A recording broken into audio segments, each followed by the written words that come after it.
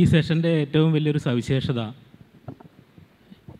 ഇതിന്റെ ഈ വിഷയം ഇവിടെ ഇരിക്കുന്ന പാനലിസ്റ്റുകൾക്കും ഇവിടെ അവസാന നിമിഷം സബ്സ്റ്റിറ്റ്യൂട്ടായി വന്നിട്ടുള്ള മോഡറേറ്ററായ എനിക്കും വലിയ വ്യക്തതയില്ല എന്നുള്ളതാണ്. ഇതിന്റെ സംഘാടകർ ഇന്നലെ എന്നോട് എന്തായിരിക്കും ഇതിന്റെ അർത്ഥം എന്ന് എന്റെ സുഹൃത്തുക്കളായതുകൊണ്ട് ചോദിച്ചു. ഞാനൊരു അർത്ഥം ഉണ്ടാക്കി പറഞ്ഞു. ആ ഒറ്റ കുറ്റത്തിനാണ് സബ്സ്റ്റിറ്റ്യൂട്ടായിട്ട് എന്നെ ഇവിടെ പിടിച്ചിരുത്തിയിരിക്കുന്നത്. എന്തായാലും ഞാൻ മനസ്സിലാക്കിയ ഒരർത്ഥം രണ്ട് മിനിറ്റ് കൊണ്ട് ഞാൻ പറയാം. ഞാൻ മനസ്സിലാക്കി എടുത്തൊരർത്ഥമാണ് അതിനോട് ആരും യോജിക്കണമെന്ന് യാതൊരു നിർബന്ധമില്ല ഞാൻ മനസ്സിലാക്കിയത് ഈ ഡിസ്കേഴ്സീവ് എന്നുള്ളത് പിന്നെ പ്രതിപാദനത്തിൽ ഈ നോട്ട്സ് നോക്കാത്തായിരിക്കും നല്ലതെന്ന് തോന്നുന്നു. പ്രതിപാദനത്തിൽ ഒരു മീഡിയം എന്നുള്ള നിലയ്ക്ക് മൂവിങ് ഇമേജസ് വരുന്ന സമയത്ത് പ്രിന്റിലുണ്ടാകുന്ന ഒരു സ്പേസ് അല്ല അല്ലെങ്കിൽ ഫിസിക്കലായിട്ട് ഉണ്ടാകുന്ന ഒരു സ്പേസ് അല്ല അത് സൃഷ്ടിക്കുന്നത്. അപ്പോൾ ആ ഒരു മീഡിയം ഉപയോഗിച്ചുകൊണ്ട് ഒരു നരേറ്റീവ് ഉണ്ടാക്കിയെടുക്കുന്ന സമയത്ത് പ്രത്യേകിച്ചും അതിന്റെ ടോണാലിറ്റി അതിന്റെ കട്ട് അല്ലെങ്കിൽ അതിന്റെ ആ മീഡിയത്തിന്റെ സ്പെസിഫിസിറ്റി കൊണ്ട് തന്നെ മൂവിങ് ഇമേജസുമായിട്ട് ആളുകൾ ബന്ധപ്പെടുന്ന ഒരു രീതി കൊണ്ട് തന്നെ ആ നരേറ്റീവിന് വേണമെങ്കിൽ സത്യത്തെ കളവാക്കാനും ഫ്രെയിമിങ്ങിലൂടെ ചില കാര്യങ്ങളെ ഫ്രെയിമിന് പുറത്താക്കാനും ഒക്കെ പറ്റുന്ന ഒരു മീഡിയമാണ് വലിയൊരു ഉത്തരവാദിത്തമാണ്. അങ്ങനെ ഒരു മീഡിയത്തിൽ ഒരു നരേറ്റീവ് ഉണ്ടാക്കുന്ന സമയത്ത് വലിയൊരു ഉത്തരവാദിത്തമാണ്. അപ്പോൾ ആ മീഡിയത്തെക്കുറിച്ച് സെൽഫ് റിഫ്ലക്സീവ് ആയിട്ടുള്ള ആളുകൾക്ക് അതിനകത്ത് നിന്നുകൊണ്ട് കാര്യങ്ങൾ ചെയ്യുമ്പോൾ എന്ത് ചെയ്യാൻ പറ്റും എന്നുള്ളത് വലിയൊരു ചോദ്യമാണ്. ഇതാണ് ഞാൻ ബ്രീഫായിട്ട് ഞാൻ മനസ്സിലാക്കിയ അർത്ഥത്തിൽ അത് അതിനെ എടുക്കുന്നത്. രണ്ടാമത്തെ കാര്യം നമ്മൾ നോക്കുന്ന സമയത്ത് ഇപ്പം പ്രിന്റിൽ വർക്ക് ചെയ്യുന്ന ഒരാളുണ്ട്. ബാക്കി മൂന്ന് പേരും പ്രിന്റിന്റെ അനുഭവത്തോടു കൂടി തന്നെ പിന്നെ വിഷ്വൽ മീഡിയയിൽ എത്തി നിൽക്കുന്ന ആളുകളെന്ന് ഞാൻ മനസ്സിലാക്കുന്നു. അപ്പോൾ ശരിക്കും നോക്കുമ്പോൾ ഇന്നിപ്പോൾ പ്രിന്റ് മീഡിയയുടെ അജണ്ട വിഷ്വൽ മീഡിയ നിർണയിക്കുന്ന ഒരവസ്ഥയിലേക്കും വിഷ്വൽ മീഡിയയുടെ അജണ്ട ഏറിയും കുറഞ്ഞും സോഷ്യൽ മീഡിയ നിർണയിക്കുന്ന ഒരവസ്ഥയിലേക്കും എത്തിയിട്ടുണ്ടെന്നാണ് എനിക്ക് തോന്നുന്നത്. അപ്പോൾ അങ്ങനെ വരുന്ന സമയത്ത് അതേ സമയത്ത് കേരളത്തിലെ പ്രിന്റ് മീഡിയയുടെ ചില സംസ്കാരങ്ങൾ വിഷ്വൽ മീഡിയയിലേക്ക് വന്നതായിട്ടും എനിക്ക് തോന്നിയിട്ടുണ്ട്. പ്രധാനമായിട്ടും ഞാൻ ശ്രദ്ധിച്ചൊരു കാര്യം ഈ മരണക്കോളം ചരമക്കോളം എന്ന് പറയുന്നത് മലയാളം പത്രങ്ങളിലല്ലാതെ തമിഴ് പത്രങ്ങൾ പോലുണ്ടോ എന്ന് എനിക്ക് സംശയമാണ്. അപ്പോൾ ഒരു കമ്മ്യൂണിറ്റിയുടെ സെലിബ്രേഷൻസ് അതിന്റെ ഉത്കണ്ഠകൾ അതിന്റെ താല്പര്യങ്ങളെ റെപ്രസെന്റ് ചെയ്യുന്ന ഒരു സംസ്കാരം പ്രിന്റ് കേരളത്തിൽ. അത് ഏറിയും കുറഞ്ഞും വിഷ്വൽ മീഡിയയും പിന്തുടരുന്നതായിട്ട് എനിക്ക് തോന്നിയിട്ടുണ്ട്. അതിന്റെ ഒരു പ്രത്യേകത പ്രത്യേകിച്ച് പെരുന്നാളോ പൂരോ ഒക്കെ ഉണ്ടെങ്കിൽ സെലിബ്രേഷൻസ് എന്നുള്ളത് പ്രധാനമായി വരുമ്പോൾ ക്രിട്ടിക്കൽ ഡയലോഗ് പിന്നെ അപ്രസക്തമാവും. നമ്മൾ പോസ്റ്റ് ട്രൂത്ത് എന്നൊക്കെ വിളിക്കുന്ന ഒരു കാലയളവിൽ ഫാക്റ്റിനെ സൂപ്പർസീഡ് ചെയ്തുകൊണ്ട് ഇമോഷൻസ് ഉണ്ടായി വരുമ്പോൾ നമ്മളോട് കൂടുതൽ കൂടുതൽ ഇങ്ങനെ ഒരു ചാനൽ പാനൽ ചർച്ചയിലൊക്കെ വന്ന കൂടുതൽ കൂടുതൽ ആങ്കർ കാണിക്കൂ എന്നുള്ള ഒരു ഒരു ഡിമാൻഡാണ് നമ്മൾ പുറത്തേക്ക് വരുന്നത്. അപ്പം ശരിക്കും ഈ ഞാൻ നേരത്തെ സൂചിപ്പിച്ചതിനെ ഒന്ന് ട്വിസ്റ്റ് ചെയ്ത് പറയുകയാണെങ്കിൽ നമ്മുടെ പ്രധാനമന്ത്രി ഈ മീഡിയയെ ഒക്കെ ഒഴിവാക്കിക്കൊണ്ട് നേരിട്ട് ജനങ്ങളുമായി ഇടപെടാൻ വേണ്ടി സോഷ്യൽ മീഡിയ ഉപയോഗിക്കുന്നു എന്നാണ് അവർ ക്ലെയിം ചെയ്യുക. ഡയറക്റ്റായിട്ട് ഡീൽ ചെയ്യുന്നത്. പക്ഷേ എന്താ ശരിക്കും സംഭവിക്കുന്നത്? ഞാൻ നോക്കുമ്പോൾ ഒരു മോണലോഗിനെ ആംപ്ലിഫൈ ചെയ്യാണ് ശരിക്കും ചെയ്യുന്നത്. സോഷ്യൽ മീഡിയ ഇൻഹറന്റ്ലി സംവാദങ്ങളെ സാധ്യമാക്കുന്ന ഒരു സ്ഥലമാണ്. മോഡി ഒരു ട്വീറ്റ് ചെയ്ത് കഴിഞ്ഞാൽ അതിന്റെ ഇടയിൽ എന്ത് ചർച്ച വന്നു എന്നുള്ളതല്ല ശ്രദ്ധിക്കപ്പെടുന്നത്. ഏറിയും കുറഞ്ഞും എന്റെ അടുത്തിരിക്കുന്ന ആൾ നമ്മുടെ മുഖ്യമന്ത്രിയുടെ മാധ്യമ ഉപദേഷ്ടാവ് കൂടിയാണെന്ന് എനിക്കറിയാം. നമ്മുടെ മുഖ്യമന്ത്രിയും സോഷ്യൽ മീഡിയ ഉപയോഗിക്കുന്നത് ആ അർത്ഥത്തിൽ ഒരു ആംപ്ലിഫൈഡ് മോണോലോഗ് എന്നുള്ള നിലയ്ക്ക് തന്നെയല്ലേ എന്ന് എനിക്ക് സംശയം തോന്നിയിട്ടുണ്ട്. ഞാൻ ഈ കാര്യങ്ങളെ ഇങ്ങനെ ബന്ധിതമായി അവതരിപ്പിക്കാനുള്ള ഒരു കാരണം എന്ന് വെച്ച് കഴിഞ്ഞാൽ സെൽഫ് റിഫ്ലക്സീവായി നോക്കുമ്പോൾ സംവാദം എന്ന് പറയുന്ന ഒരു കാര്യത്തെ നമ്മുടെ ഇപ്പോൾ ഈ ഈ ഫോർമാറ്റ് പോലും ഞാൻ ആലോചിക്കുന്നത് ഈ നമ്മൾ ഇരുന്ന് ചർച്ച ചെയ്യുന്ന ഒരു മണിക്കൂർ ചർച്ച എന്ന് പറയുന്നത് ഒരു പക്ഷേ കിട്ടിയിട്ടുണ്ടാവുക പ്രൈം ടൈം ഡിസ്കഷന്റെ ഫോർമാറ്റ് ഉണ്ടായിരിക്കും അതിനകത്ത് അനലിറ്റിക്കലായിട്ടോ വേറെ എന്തെങ്കിലും തരത്തിലോ നമുക്കൊരു വിശകലനം ചെയ്യാനുള്ള ഇത് കിട്ടുമോ എന്നുള്ള കാര്യം. ഇപ്പം തമാശക്കാണെങ്കിലും എന്റെ സുഹൃത്ത് തുടക്കത്തിൽ പറഞ്ഞു ശരിക്ക് എന്നെക്കുറിച്ചൊരു കമന്റ് നടത്തി. അതായത് ഞാൻ ഫിലോസഫി അധ്യാപകനായിട്ടുള്ള ഒരാളാണ്. സാധാരണഗതിയിൽ നിങ്ങൾ കാണുക ഇവരൊക്കെ ആങ്കർ ചെയ്യുന്ന ഒരു ചർച്ചയിൽ ഒരു സോഷ്യൽ സയന്റിസ്റ്റോ എന്റെ മരിച്ചു സുഹൃത്ത് ഡോക്ടർ ടി കെ രാമേന്ദ്രനൊക്കെ ടി വിയിൽ വരുമ്പോൾ എനിക്ക് സങ്കടം തോന്നാറുണ്ട്. പുള്ളി എന്തെങ്കിലുമൊക്കെ ഇങ്ങോട്ട് പറഞ്ഞു വരുമ്പോഴേ പുള്ളിയുടെ സമയവും കഴിവും ക്യാമറ അവിടെ നിന്ന് പോയിട്ടുണ്ടാവും. അല്ലെ ആ ഫോർമാറ്റ് ഇൻ ഇറ്റ് സെൽഫ് ആ ടെംപ്ലേറ്റ് തന്നെ അനലിറ്റിക്കലായിട്ടുള്ള ക്രിട്ടിക്കലായിട്ടുള്ള റീ റീസന്റെ ഉപയോഗത്തിലൂടെയുള്ള ചർച്ചകൾക്ക് പര്യാപ്തമാണോ എന്നുള്ള കാര്യത്തിൽ സംശയമുണ്ട് ഇവിടെ ഒരു പ്രതികാരം എന്നുള്ള നിലക്കോളം ഞാൻ ആങ്കർ ചെയ്യുന്ന ഒരു ചർച്ചയിൽ ഇവരെ കിട്ടിയിരിക്കുകയാണ്. അപ്പോൾ എനിക്ക് ഇവരോട് ആകെയുള്ള ഒരു റിക്വസ്റ്റ് എന്ന് വെച്ച് കഴിഞ്ഞാൽ നമുക്ക് ഈ ചോദ്യങ്ങൾ ചോദിക്കാൻ പോകുന്നവരോടുള്ള റിക്വസ്റ്റ് വെച്ചാൽ നമുക്ക് പരിചയമുള്ള ഫോർമാറ്റ് വിട്ടിട്ട് സെൽഫ് ക്രിട്ടിക്കലായി സെൽഫ് റിഫ്ലക്സീവായിട്ട് എന്ത് പറയാൻ പറ്റുമെന്ന് പരീക്ഷിച്ച് നോക്കുക എന്നുള്ള ഒരു സജഷനാണ് എനിക്ക് ആദ്യമായിട്ട് വയ്ക്കാനുള്ളത് അധ്യാപകരാണെങ്കിലും മീഡിയ പ്രവർത്തകരാണെങ്കിലും ഇപ്പോൾ രാജീവ് സർദേശിയായൊക്കെ കാര്യങ്ങളെക്കുറിച്ചൊരു ട്വീറ്റ് ചെയ്തതിന് ശേഷം ഈ ഫോർമാറ്റിലേക്ക് വന്നു കഴിഞ്ഞാൽ എത്രത്തോളം അവർക്ക് അവർ ഇപ്പം മാധ്യമപ്രവർത്തകരടക്കം സ്വന്തം നിലപാട് പറയാൻ സോഷ്യൽ മീഡിയയിലേക്ക് വരുന്ന ഒരു അവസ്ഥ കാണുമ്പോൾ എന്റെ ഞാൻ ഇപ്പോൾ ഉന്നയിച്ച കാര്യങ്ങളുടെ തുടർച്ചയായിട്ട് ഒരു ചോദ്യം പൊതുവായി എല്ലാവരോടും ചോദിച്ചുകൊണ്ട് ഞാൻ പ്രിന്റ് മീഡിയ റെപ്രസെന്റ് ചെയ്യുന്ന ശ്രീ ജോണിൽ നിന്നും തുടങ്ങാമെന്ന് വിചാരിക്കുന്നു. അത് ഈ ചോദ്യം ഇതാണ്. ഈ നിഷ്പക്ഷത എന്ന് പറഞ്ഞിട്ടൊരു കാര്യം നമ്മൾ ഈ മാധ്യമത്തിന്റെ ഒരു പ്രധാനപ്പെട്ട സവിശേഷതയായിട്ട് പറഞ്ഞു കേൾക്കാറുണ്ട്. അത് ശരിക്ക് നിഷ്പക്ഷത നാട്യം ഉണ്ടാകുമ്പോൾ ഒരു പ്രശ്നം. ഞാൻ ആലോചിക്കുന്നത് ഈ കേരളത്തിൽ ഈ ബി ജെ പിയുടെ സ്പോക്സ് പേഴ്സൺസിനൊക്കെ ഇത്രയും സമ്മാന്യത ലെജിറ്റിമസി നേടിക്കൊടുത്തത് നമ്മുടെ വിഷ്വൽ മീഡിയ അല്ലേ എന്നുള്ള സംശയം എനിക്ക് എപ്പോഴും തോന്നാറുണ്ട്. കാരണം ഒരു പ്രസക്തിയില്ലാത്ത കാര്യങ്ങൾ അല്ലെങ്കിൽ പറഞ്ഞ കാര്യങ്ങൾ തന്നെ പറഞ്ഞുകൊണ്ടിരിക്കുക. ഈ നോൺസെൻസിനെ എൻഗേജ് ചെയ്യേണ്ട എന്ത് ആവശ്യമാണ് ഒരു ക്രെഡിബിൾ ആയിട്ടുള്ള ഒരു മീഡിയക്കുള്ളത് അപ്പോൾ വേറൊരു ചോദ്യം വരും. ബി ജെ പി അല്ലാത്ത ആളുകൾ എന്താണ് ചെയ്യുന്നതെന്നുള്ളത്? ശരിക്കും സംവാദം എന്ന് പറയുന്നതിന് എന്തെങ്കിലും ഒരു സാധ്യത ഈ ഫോർമാറ്റ് നമ്മളിപ്പോൾ തീർച്ചയായിട്ടും വിഷ്വൽ മീഡിയ എന്ന് പറയുമ്പോൾ ന്യൂസ് മാത്രമല്ല എന്ന് എനിക്കറിയാം. പക്ഷേ ഇവിടെ ഇരിക്കുന്ന ആളുകളൊക്കെ അത് അതുമായി കൂടുതൽ ബന്ധപ്പെടുന്നവരായതുകൊണ്ട് ഈ നിഷ്പക്ഷത ആണോ നമുക്ക് വേണ്ടത്? നമുക്ക് ഒരു കാര്യത്തിൽ നോൺസെൻസ് പറയുന്ന ഒരാളെ അല്ലേ? ചിലപ്പോൾ എനിക്ക് ഇന്ത്യൻ മീഡിയ ഇംഗ്ലീഷ് മീഡിയ ഭേദമാണെന്നുള്ള അഭിപ്രായമൊന്നുമില്ല. പക്ഷേ ചിലപ്പോഴെങ്കിലും ചില ബി ജെ പി സ്പോർട്സ് പേഴ്സൺസൊക്കെ ആങ്കേഴ്സിന്റെ അനലിറ്റിക്കലായിട്ടുള്ള ഇന്റർവെൻഷനിൽ പ്രൊവോക്ഡായിട്ട് ഇറങ്ങിപ്പോകുന്നത് കാണാറുണ്ട്. ഇവിടെ അങ്ങനെ ഉണ്ടായിരുന്നു. അപ്പോൾ സ്വന്തം അനുഭവങ്ങളുടെ കൂടെ അടിസ്ഥാനത്തിൽ ഈ ഫോർമാറ്റിനെ കുറിച്ച് അത് സംവാദത്തെ എത്രത്തോളം സാധ്യമാക്കുന്നുണ്ട് എന്നതിനെക്കുറിച്ച് ഒക്കെ ഉള്ള ഇനി ഞാൻ മോഡറേറ്റർ ഇടപെടുന്നില്ല ആവശ്യത്തിൽ ഇടപെട്ടു എന്നുള്ളതുകൊണ്ട് അതുകൊണ്ട് ഞാൻ ഈ ഓർഡറിൽ തന്നെ പോകാം. ഇടയ്ക്ക് എന്തെങ്കിലും ചോദ്യങ്ങളുണ്ടെങ്കിൽ ചോദിക്കാം. ശ്രീ ജോണിൽ നിന്നും തുടങ്ങും.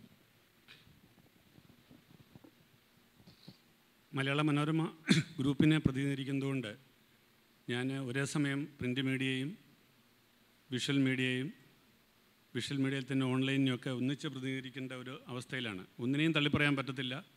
ഒന്നിനെയും ഏറെ പ്രശംസിക്കാനും പറ്റാത്തൊരവസ്ഥയാണ്.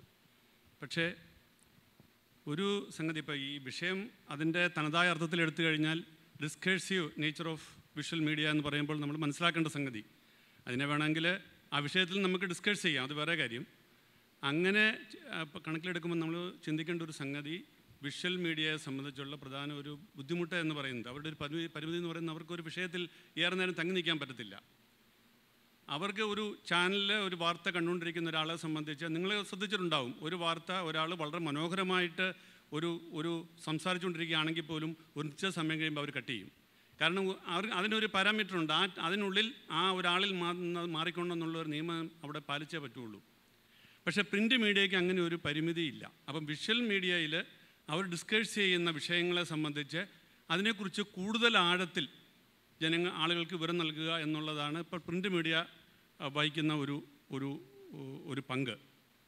ഒരു സംഭവം ഉണ്ടാകുന്നു രാവിലെ ഇപ്പോൾ ഒരു ഒരു സംഭവം ഉണ്ടാകുന്നു ഉദാഹരണത്തിന് ശശി തരൂർ ഒരു പ്രസ്താവന നടത്തുന്നു. അദ്ദേഹം പറയുന്നു പ്രധാനമന്ത്രിയുടെ ഏതെങ്കിലും ഒരു പ്രത്യേകമായ നിലപാടിനെ അദ്ദേഹം സാധൂകരിക്കുന്നു. സ്വാഭാവികമായിട്ടും കോൺഗ്രസിനകത്തെ പല ആളുകൾ അതിനോട് പ്രതികരിക്കുന്നു. ഇത് ഓരോ സംഭവവും ചാനലിൽ വരുമ്പോൾ അത് അപ്പോഴത്തെ പ്രൈം ന്യൂസാണ് അല്ലെങ്കിൽ അപ്പോഴത്തെ പ്രിന്റ് മീഡിയയുടെ തലത്തിൽ പറഞ്ഞത് ലീഡ് ന്യൂസാണ് ഒരു വാർത്ത നിങ്ങൾ ചാനൽ കണ്ടുകൊണ്ടിരിക്കുമ്പോൾ അതാണ് അപ്പോഴത്തെ പ്രധാന വാർത്ത. എന്താണ് ഞാൻ മനസ്സിലാക്കുന്നത്. അപ്പം അത് കഴിഞ്ഞ് അടുത്ത ന്യൂസ് വരുമ്പോൾ അത് പ്ര- അപ്രധാനമായി മാറിക്കഴിഞ്ഞു. എന്നാൽ പ്രിന്റ് മീഡിയയ്ക്കുള്ള സൗകര്യം എന്ന് പറഞ്ഞാൽ ഒരു പത്രത്തിലൊരു വാർത്ത അതിന്റെ ഒന്നാം പേജ് എടുത്തു കഴിഞ്ഞാൽ അതിനകത്ത് ലീഡ് സ്റ്റോറി ഉണ്ടാവും സൈഡ് സ്റ്റോറി ഉണ്ടാവും സൂപ്പർ ലീഡ് ഉണ്ടാവും.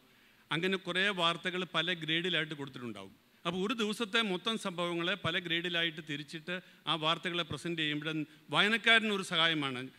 ഇതിനകത്ത് ഏറ്റവും പ്രധാനപ്പെട്ട വാർത്ത ഇന്നതാണ് അത് കഴിഞ്ഞ് ഇന്നതാണ്. അങ്ങനെ ഒരു ചോയ്സ് ഒരു ഒരു ഡയറക്ഷൻ ഒരു ഒരു സജഷൻ വായനക്കാരന് കൊടുക്കാൻ കഴിയുന്നുണ്ട്. എന്നാൽ വിഷ്വൽ മീഡിയ സംബന്ധിച്ച് അപ്പോൾ സംഭവിക്കുന്നതാണ് അവരുടെ പ്രധാന വാർത്ത. അപ്പോൾ അങ്ങനെ ഒരു ഒരു ഒരു പരിമിതിക്കുള്ളിൽ നിന്നുകൊണ്ടാണ് വിഷ്വൽ മീഡിയ പ്രവർത്തിക്കുന്നത്. അതുപോലെ തന്നെ അവർക്ക് ഒരു ഒരു വാർത്ത അല്ലെങ്കിൽ ഒരു സംഭവത്തിൽ മാത്രം കേന്ദ്രീകരിച്ച് മുന്നോട്ട് പോകാൻ പറ്റത്തില്ല. അതിന്റെ ആഴങ്ങളിലേക്ക് അധികം പോകാൻ പറ്റത്തില്ല. ആ വാർത്തയെ ഇപ്പം നമുക്കറിയാം ഒരു ഒരു ചാനൽ റിപ്പോർട്ടിന്റെ ഒരു ന്യൂസിനെ സംബന്ധിച്ച് എത്ര പ്രധാനപ്പെട്ട വാർത്തയാണെങ്കിലും അത് അഞ്ചോ ആറോ വാചകങ്ങൾ ഒതുങ്ങി നിൽക്കുന്ന വാർത്ത. അതിനുള്ളിൽ അപ്പോൾ പറയാവുന്ന എല്ലാ കാര്യങ്ങളും പറഞ്ഞിരിക്കണം. അത് കഴിഞ്ഞ് അടുത്തയിലേക്ക് പോകണം. ഒരു കാര്യം മാത്രം പറഞ്ഞുകൊണ്ട് തന്നെ അല്ല അതുപോലെയുള്ള വലിയ സംഭവങ്ങളായിരിക്കണം. ദേശീയ അന്തർദേശീയ പ്രധാനമായ പ്രധാനപ്പെട്ട സംഭവങ്ങൾ ഉണ്ടാകുമ്പോൾ മാത്രമേ അവർക്കൊരു വാർത്തയിലേക്ക് പൂർണമായി കേന്ദ്രീകരിക്കാൻ പറ്റുകയുള്ളൂ. എന്നാൽ വൈകുന്നേരം നടത്തുന്ന ഡിസ്കഷനിലാണ് അവർ കോമ്പൻസേറ്റ് ചെയ്യുന്നത്. ആ വിഷയത്തെ എടുത്ത് വൈകുന്നേരം ചർച്ച നടത്തി. അതിന്റെ ഒരു കുറച്ചുകൂടെ ആഴത്തിലേക്ക് അത് പോകാനുള്ള ശ്രമമാണ്. പക്ഷേ അവിടെ പോലും നേരത്തെ ഈ പറഞ്ഞതുപോലെ ഒരു വിഷയത്തെക്കുറിച്ച് വളരെ ഗ്രാഹ്യമുള്ള പാണ്ഡിത്യമുള്ള ഒരാൾ പറഞ്ഞു തുടങ്ങുമ്പോൾ തന്നെ അത് കട്ട് ചെയ്തിട്ട് അടുത്ത ആളിലേക്ക് പോകുന്ന ഒരു പരിമിതിയും ചാനലുകൾക്കുണ്ട്. അപ്പോൾ ഇത്തരത്തിൽ ഒരു പരിമിതിക്കുള്ളിൽ നിന്നുകൊണ്ട് പ്രവർത്തിക്കുന്നതുകൊണ്ടാണ് ഞാൻ ഉദ്ദേശിക്കുന്നത് ഇതിന്റെ ഏതായാലും ഈ സബ്ജക്റ്റ് നിശ്ചയിച്ച ആൾ എവിടെയോ കാണാൻ മറയത്ത് നിൽക്കുകയാണ്. അദ്ദേഹം ഇത് എന്താണെന്ന് ഞങ്ങളോട് വിശദീകരിച്ചിട്ടില്ല. ഞാൻ ഇന്നലെ വിളിച്ച് സംഘാടകരോട് ചോദിച്ചു എന്താണ് ഇതിന്റെ ഉദ്ദേശിക്കുന്ന അർത്ഥം? അവർക്കും അറിയില്ല. എന്തായാലും ഞാൻ മനസ്സിലാക്കുന്നത് ഇങ്ങനെയാണ്. ഒരു വിഷയത്തിൽ നിന്ന് ഒരു വിഷയത്തിലും തങ്ങി നിൽക്കാതെ ഒന്നിൽ നിന്ന് മറ്റൊന്നിലേക്ക് ഇങ്ങനെ മാറിപ്പോകുന്ന അതൊരു ഒരു നെഗറ്റീവ് കൊണോട്ടേഷൻ കൂടെ അതിനുണ്ടെന്ന് എനിക്ക് തോന്നുന്നു. അപ്പോൾ അത്തരത്തിലുള്ളതാണ് അർത്ഥമെങ്കിൽ ഇത്തരത്തിലുള്ള ഒരു പരിമിതി ചാ പിന്നെ ചാനലുകളുടെ ഒരു പരിമിതി അനിവാര്യമായ ഒരു പരിമിതിയാണെന്നാണ് ഞാൻ കാണുന്നത്. അതിനകത്ത് വേറെ നിവൃത്തിയില്ല. പ്രത്യേകിച്ച് ചാനലുകളെ സംബന്ധിച്ച് ഈ റേറ്റിംഗ് എന്നുള്ള പറയുന്ന ഒരു വിഷയമുള്ളത് കൊണ്ട് അവർക്ക് ആളുകൾ കണ്ടുകൊണ്ട് ഇപ്പോൾ ഇന്നൊരു വാർത്ത ഇന്നത്തെ ദിവസം മുഴുവൻ ഉദാഹരണത്തിന് കഴിഞ്ഞ ദിവസങ്ങളിൽ കേരളത്തിലുണ്ടായിട്ടുള്ള പ്രധാനപ്പെട്ട ഒരു സംഭവമാണ് നിങ്ങൾക്കറിയാം പിന്നെ യൂണിവേഴ്സിറ്റി കോളേജിൽ നടന്ന കത്തിക്കുത്ത്. ഈ കത്തിക്കുത്തിന്റെ തുടർച്ചയായിട്ട് പല ഡെവലപ്മെന്റ്സ് ഉണ്ടാകുന്നു ആദ്യം ഒരു കത്തിക്കുത്ത് ഉണ്ടാകുന്നു കത്തിക്കുത്ത് റിപ്പോർട്ട് ചെയ്യുന്നു അതിനകത്തുള്ള രാഷ്ട്രീയവും സാമൂഹികമായിട്ടുള്ള പ്രശ്നങ്ങളെല്ലാം റിപ്പോർട്ട് ചെയ്ത് കഴിഞ്ഞിട്ട് അടുത്ത ദിവസം അത് ശിവരഞ്ജിത്ത് എന്ന് പറയുന്ന ആളുടെ മാർക്കിലേക്ക് പോകുന്നു. ഒന്നാം റാങ്ക് കിട്ടിയ ആളുടെ മാർക്കിന്റെ സാധ്യത. അതെങ്ങനെയാണ് അത് അന്വേഷിക്കുന്നത്? ഒരു ഒന്നാം ഒരു കത്തിക്കുത്തിൽ ഏർപ്പെട്ടുകൊണ്ട് ഒരാൾക്ക് ഒന്നാം റാങ്ക് കിട്ടാൻ യോഗ്യതയില്ല നമുക്ക് പറയാൻ പറ്റത്തില്ല. പക്ഷേ ആ വ്യക്തിക്ക് യൂണിവേഴ്സിറ്റി കോളേജ് കിട്ടിയ മാർക്ക് ലഭ്യമായപ്പോൾ ആണ് സംശയം തോന്നിയത്. പി എസ് സിയുടെ മാർക്കിനെ സംബന്ധിച്ച് സംശയം പിന്നെ ഉണ്ടാകുന്നു അതിനെക്കുറിച്ച് ആരോപണങ്ങൾ ഉണ്ടാകുന്നു അങ്ങനെ അത് അന്വേഷിക്കുമ്പോഴാണ് അറിയുന്നത് അവിടെ ഒരു ഒരു ഒരു വലിയൊരു ഫ്രോഡ് നടന്നു എന്നത്. അപ്പോൾ അത് ന്യൂസ് ഡെവലപ്പ് ചെയ്യുകയാണ് അപ്പോൾ ഇങ്ങനെ ഓരോ ദിവസവും ഈ ന്യൂസ് ഡെവലപ്പ് ചെയ്ത് മുന്നോട്ട് മുന്നോട്ട് പോകുമ്പോൾ മാത്രമേ ഇത് വീണ്ടും വീണ്ടും എടുക്കാൻ പറ്റുള്ളൂ. അത് പ്രിന്റ് മീഡിയ ആണെങ്കിൽ വിഷ്വൽ മീഡിയ ആണെങ്കിൽ അത് തന്നെയാണ് സ്ഥിതി. അങ്ങനെ ഡെവലപ്പ് ചെയ്യാത്ത വാർത്തയെ സംബന്ധിച്ച് അത് അവിടെ ഉപേക്ഷിച്ചേ പറ്റുള്ളൂ. പിന്നെ ഇതെങ്ങനെയാണ് ചെയ്യുന്നത്? വിഷ്വൽ മീഡിയ തന്നെയും അവർ ഈ വാർത്ത വീണ്ടും അവരുടെ വാരാന്ത്യത്തിലോ അല്ലെങ്കിൽ പിന്നീട് വാർഷികത്തിലോ ഒക്കെയാണ് ഈ വാർത്ത വീണ്ടും ടേക്കപ്പ് ചെയ്യുന്നത്. ഇങ്ങനെ സംഭവം കഴിഞ്ഞ വർഷം ഇത്രാം തീയതി ഉണ്ടായിരുന്നു. ഇന്നത്തെ ദിവസമാണ് ഉണ്ടായത് എന്ന് പറഞ്ഞിട്ട് ആ വാർത്ത ടേക്കപ്പ് ചെയ്യുന്നു. അപ്പോൾ ഡെവലപ്പ് ചെയ്യാത്ത വാർത്തയെ സംബന്ധിച്ച് അതിന്റെ പിന്നെ അതിന്റെ ആഴത്തിലേക്ക് പോകാൻ പലപ്പോഴും കഴിയത്തില്ല. എന്നാൽ പ്രിന്റ് മീഡിയയെ സംബന്ധിച്ച് കുറച്ചുകൂടെ അതിനകത്തൊരു ഒരു സാധ്യതയുണ്ട്. ഉദാഹരണത്തിന് ഇപ്പോൾ ഈ പറയുന്ന വിഷയം ഒരു കത്തിക്കുത്തുണ്ടായി അല്ലെങ്കിൽ അതിനെ തുടർന്നിട്ട് ഒരു പിന്നെ ഒരു മാർക്ക് തട്ടിപ്പിനെ കുറിച്ചുള്ള വിവരങ്ങൾ പുറത്തു വരുന്നു. അത് തുടർന്ന് പി എസ് സിയുടെ വിശ്വാസത്തെക്കുറിച്ച് സംശയം വരുന്നു. അപ്പോൾ അതിനെക്കുറിച്ച് ഒരു പരമ്പര തന്നെ ഒരു പത്രത്തിന് എഴുതാം. അങ്ങനെ ഒരു പരമ്പര എഴുതിക്കൊണ്ട് മാത്രമേ ആഴത്തിൽ അതിനെക്കുറിച്ച് ഒരു പത്രത്തിന് പ്രവർത്തിക്കാൻ പറ്റുകയുള്ളൂ. അപ്പോൾ ഇത് ഇത്തരത്തിലുള്ള ഒരു പരിമിതിക്കുള്ളിൽ നിന്നുകൊണ്ടാണ് വിഷ്വൽ മീഡിയയും പ്രിന്റ് മീഡിയയും ഒക്കെ പ്രവർത്തിക്കുന്നത് എന്നുള്ളതാണ് ഞാൻ അമോഘമായിട്ട് സൂചിപ്പിക്കുന്നത്. ഇനിയും ഞാൻ മറ്റുള്ളവർക്ക് സംസാരിക്കാൻ വേണ്ടി മൈക്ക് കൈമാറുകയാണ്.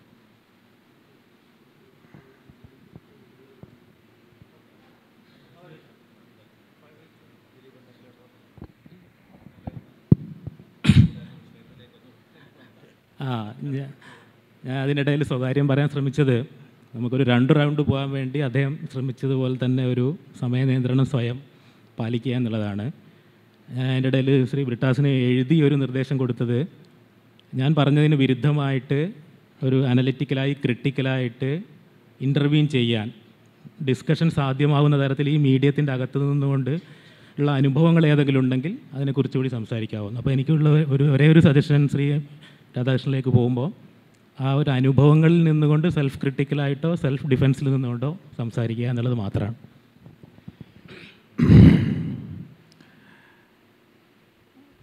ഇവിടെ വാസ്തവത്തിൽ ഈ അച്ചടി മാധ്യമവും ടെലിവിഷൻ മാധ്യമവും രണ്ട് പ്രധാനപ്പെട്ട മാധ്യമങ്ങളെ കുറിച്ചാണ്. ഇതിൽ പ്രത്യേകിച്ചും ഇന്നത്തെ വിഷയം വിഷ്വൽ മീഡിയ ദൃശ്യമാധ്യമങ്ങളിലെ മാധ്യമങ്ങൾ മാധ്യമ വഴക്കം എന്നോ മാധ്യമങ്ങളുടെ പ്രതിപാദന രീതി എന്നോ മറ്റോ ആയിരിക്കണം വിഷയം.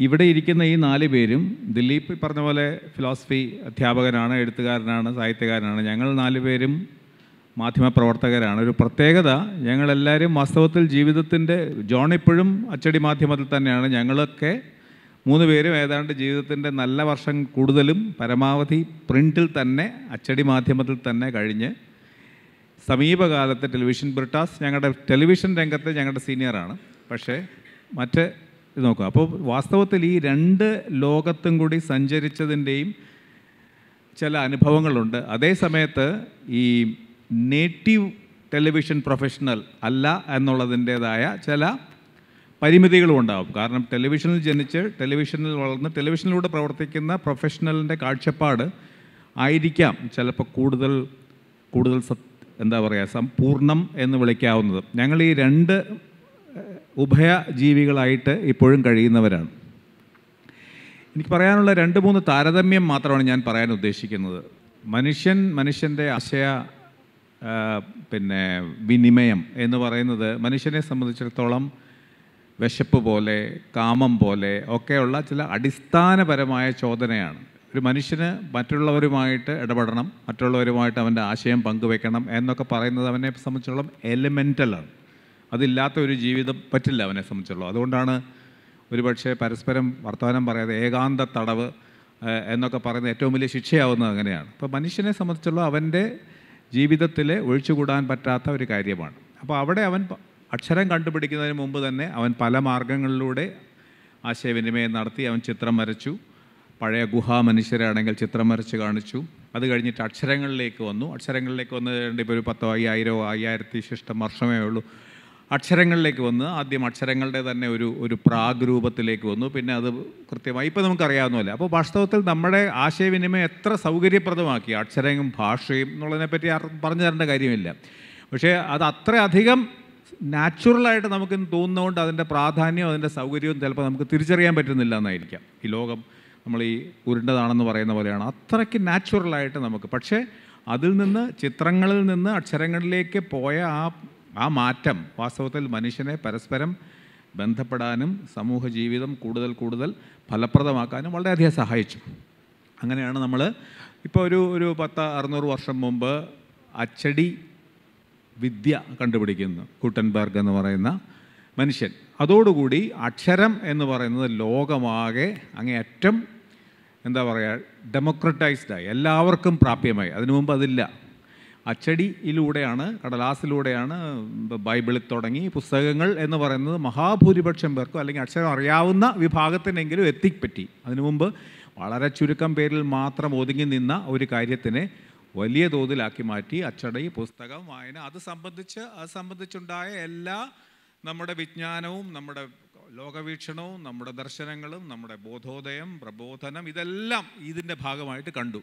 അങ്ങനെ കഴിഞ്ഞ അഞ്ഞൂറ് അറുന്നൂറ് വർഷമായി അച്ചടി മാധ്യമമാണ് വാസ്തവത്തിൽ ഈ കമ്മ്യൂണിക്കേഷൻ അതായത് മാധ്യമ മാധ്യമരംഗത്തെ എന്താ പറയുക ഏറ്റവും ഒരേ ഒരു ഏകഛത്രാധിപതിയായി വിരാജിച്ചിരുന്ന ഒരു സംഗതിയായിരുന്നു അക്ഷരം ഈ അച്ചടി മാധ്യമം.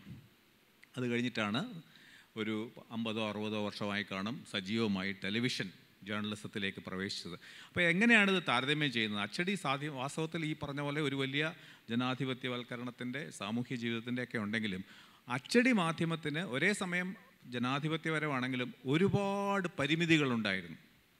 എന്തൊക്കെയാണ് പരിമിതി? ഏറ്റവും പ്രധാനം എന്താണ്? അക്ഷരം അറിയണം.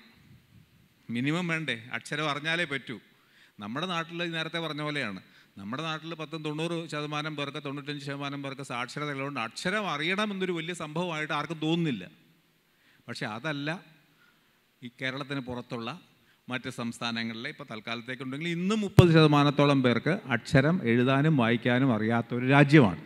അപ്പോൾ അക്ഷരം അറിയാവുന്നവർക്കേ ഉള്ളൂ ഒന്ന്. രണ്ട് അതിനേക്കാട്ടിലും അടിസ്ഥാനപരമായ ഒന്ന് എന്താണ്? മനുഷ്യനാവണം. വേണ്ടേ? മൃഗങ്ങൾക്ക് പുസ്തകം വായിക്കാൻ പറ്റില്ല. മൃഗങ്ങൾക്ക് അക്ഷരം വായിക്കാൻ പറ്റില്ല. പരിമിതി രണ്ട്. പരിമിതി മൂന്ന്. നമ്മുടെ നാട്ടിൽ അത് ബാധകമല്ലാത്തതുകൊണ്ട് നമുക്കത് മനസ്സിലാവില്ല. പണമുള്ളവർക്ക് വേണം. സമ്പന്നർക്ക് മാത്രമാണ് അക്ഷരം പ്രാപ്യമായിരുന്നത് എത്രയോ കാലം. നാല് അതും കേരളത്തിന് വലിയ ബാധകമല്ല. പക്ഷേ പുറത്ത് വളരെ ബാധകമാണ്. പുരുഷന്മാരായിരിക്കണം സവർണരായിരിക്കണം. ഇവരെല്ലാം മറ്റവരെല്ലാം പുറത്ത്. അപ്പോൾ നമ്മൾ ഈ കണക്കെല്ലാം എടുക്കുമ്പോൾ സമൂഹത്തിലെ തൊണ്ണൂറ് ശതമാനവും പുറത്താണ്.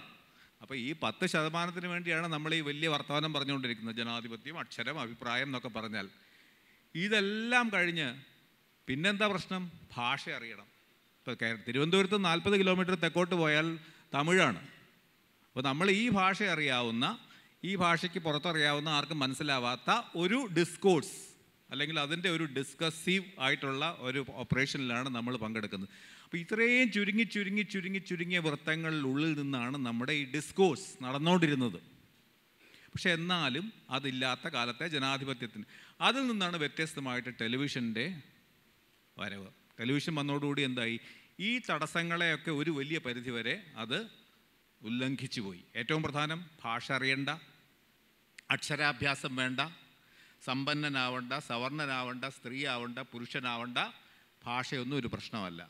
അതുകൊണ്ട് തന്നെ ടെലിവിഷന്റെ സ്വാധീനം എന്തുകൊണ്ടാണ് ഇങ്ങനെ വളരെ വേഗം? ഇന്നിപ്പോൾ എൺപത് ശതമാനം പേര് എഴുപത്തഞ്ച് ശതമാനം പേര് ഇന്ത്യയിൽ ടെലിവിഷൻ എത്തിയവരാണ്. അക്ഷരം ഇപ്പോഴും അറുപത് ശതമാനത്തിൽ കിടക്കുകയാണ് അല്ലെങ്കിൽ അറുപത്തഞ്ച് ശതമാനത്തിൽ കിടക്കുകയാണ്. ടെലിവിഷൻ എന്ന് പറഞ്ഞാൽ എത്ര നാളുണ്ട്? എൺപതുകൾ മുതൽ ഉള്ള സജീവമായ ടെലിവിഷൻ സ്വകാര്യ ടെലിവിഷൻ വന്നിട്ട് വർഷം മുപ്പതാവുന്നേ ഉള്ളൂ. മുപ്പത് വർഷത്തിനിടയ്ക്ക് എഴുപത്തഞ്ച് ശതമാനം വരെ അപ്പോൾ അതിന്റെ കാരണം ഈ പരിമിതികളൊന്നുമില്ലാതെ ടെലിവിഷൻ പ്രവർത്തിച്ചു എന്നുള്ളതാണ്. അപ്പോൾ ഇതൊരു വലിയ ജനാധിപത്യത്തിന്റെ ഒരു വലിയ കുതിച്ചുചാട്ടം തന്നെയാണ്. കൂടുതൽ പേരെ അക്ഷരത്തിന്റെ അറിവിന്റെ ആശയവിനിമയത്തിന്റെതായ ലോകത്തേക്ക് കൊണ്ടുവന്ന ഒരു വലിയ ടെക്നോളജിയാണ് ഒരു വലിയ രീതിയാണ്. പിന്നെ അടിസ്ഥാനപരമായ കമ്മ്യൂണിക്കേഷൻ എന്താണ്? മനുഷ്യൻ ഗുഹാമനുഷ്യനായിരുന്നപ്പോൾ കമ്മ്യൂണിക്കേറ്റ് ചെയ്ത് ചിത്രങ്ങളിലൂടെയാണെന്ന് ഞാൻ പറഞ്ഞു. അപ്പോൾ ചിത്രങ്ങളാണ് വാസ്തവത്തിൽ കൂടുതൽ ഫലപ്രദമായ കമ്മ്യൂണിക്കേഷന് പറ്റിയ സാധനം എന്നുള്ളത് മനുഷ്യന് നേരത്തെ അറിയാം. അക്ഷരം അറിയാത്ത കാലത്ത് അവൻ ചിത്രം വരച്ച് കമ്മ്യൂണിക്കേറ്റ് ചെയ്യെങ്കിൽ അങ്ങനെ നമ്മൾ ചിത്രങ്ങളുടേതായ ലോകത്താണ് ടെലിവിഷൻ വീണ്ടും വന്നത്. അതുകൊണ്ട് പല വീടുകളിലും പോയാൽ പട്ടിക്കുട്ടിക്ക് പോലും ടെലിവിഷൻ ആസ്വദിക്കാൻ പറ്റും. നിങ്ങൾ വീട്ടിൽ വളർത്തുന്ന നായ വാസ്തവത്തിൽ ടെലിവിഷന്റെ മുമ്പിൽ നിൽക്ക് പല ടെലിവിഷന് മുമ്പിൽ ആസ്വദിക്കും അതുകൊണ്ട് നായയ്ക്ക് പറ്റിയ സാധനമാണ് എന്ന് പറയുന്നത് വേറൊരർത്ഥം. എന്നാലും അതുപോലെ പൊടിക്കുഞ്ഞുങ്ങൾക്ക് പ്രായം ഞാൻ നേരത്തെ പറഞ്ഞ പരിമിതിയിൽ ഒന്ന് പ്രായമാണ്. നിങ്ങൾക്കൊരു ഏഴ് വയസ്സെങ്കിലും ആയാലേ നിങ്ങൾക്ക് അക്ഷരം അറിയാവൂ അല്ലെങ്കിൽ അഞ്ച് വയസ്സെങ്കിലും ആയാലേ നിങ്ങൾക്ക് അക്ഷരം എഴുതാനും വായിക്കാനും അറിയാൻ പറ്റുള്ളൂ. ഇതതും വേണ്ട. പല വീടുകളിലും പൊടിക്കുഞ്ഞുങ്ങളെ പാൽ കുടിക്കണമെങ്കിൽ ചോറുണ്ടണമെങ്കിൽ ടെലിവിഷനിൽ ഒരു പരസ്യം വരണം. ആ കണ്ട് പരിചയിച്ചു പോയി ശീലിച്ചു പോയി. അപ്പോൾ പ്രായത്തിന്റെ വർഗത്തിന്റെ വർണത്തിന്റെ ലിംഗത്തിന്റെ എല്ലാ പരിമിതികൾക്കും കടന്ന് ടെലിവിഷൻ ഒരു പ്രധാനപ്പെട്ട മാധ്യമമായി മാറി എന്നുള്ളത് വലിയ ജനാധിപത്യപരമാണ് ഒരു വശം മറുവശത്ത് എന്താണ്? ആ ജനാ ആ വലിയ അതിന്റെ സ്വാധീനം തന്നെയാണ് അതിന്റെ ഉള്ളിലുള്ള ഒരു അന്തകവിത്ത് ജനാധിപത്യത്തിന് വളരെ വളരെ ഭീഷണിയാവാവുന്ന പൊട്ടൻഷ്യൽ ഈ ടെലിവിഷനിലുണ്ട്. അതെന്താണ്? നേരത്തെ ജോൺ പറഞ്ഞു നിങ്ങൾക്ക് വാർത്ത ആണെങ്കിൽ വാർത്ത വായിച്ചാൽ നിങ്ങൾക്ക് ഒന്നുകൂടെ വായിക്കാം നിങ്ങൾക്ക് രണ്ടാമത് ഒന്നുകൂടെ വായിക്കാം ഒന്നുകൂടെ വായിക്കുമ്പോൾ ഉള്ള അർത്ഥമല്ല രണ്ടാമത് വായിക്കുമ്പം ബിറ്റ്വീൻ ദ ലൈൻസ് വായിക്കാം. ആരാണ് എഴുതിയത്? ജോൺ മുണ്ടക്കയമാണ് എഴുതിയത്. അപ്പോൾ ഇങ്ങനെയൊക്കെ അദ്ദേഹം പറയാൻ ഇടയുള്ളൂ എന്ന് നമുക്ക് വിശ്വസിക്കാം. മലയാള മനോരമയിലാണ് വന്നത് അല്ലെങ്കിൽ വേറൊരു പത്രത്തിലാണ്. അപ്പോൾ എഴുതിയവനെ എഴുതിയവരുടെ ലൊക്കേഷൻ എഴുതിയവരുടെ വ്യക്തിത്വം എഴുതിയ ഭാഷ ഇങ്ങനെ നിങ്ങൾക്ക് you have the power to go back and cross check ഉള്ളിൽ തന്നെ നിങ്ങൾക്ക് ക്രോസ് ചെക്ക് ചെയ്യാം. ടെലിവിഷൻ നിങ്ങൾക്ക് കേൾക്കുമ്പോൾ അറിയാം ഹെഡ്ലൈൻസ് കേട്ട് അഞ്ച് പേ ഒരു മിനിറ്റ് ഹെഡ്ലൈൻസ് കഴിഞ്ഞ് നിങ്ങളോട് ആരോടെങ്കിലും ചോദിച്ചാൽ മതി. ഹെഡ്ലൈൻസ് വല്ല ഓർമ്മയുണ്ടെന്ന് ചോദിച്ചാൽ ആർക്ക് ആർക്കറിയാം?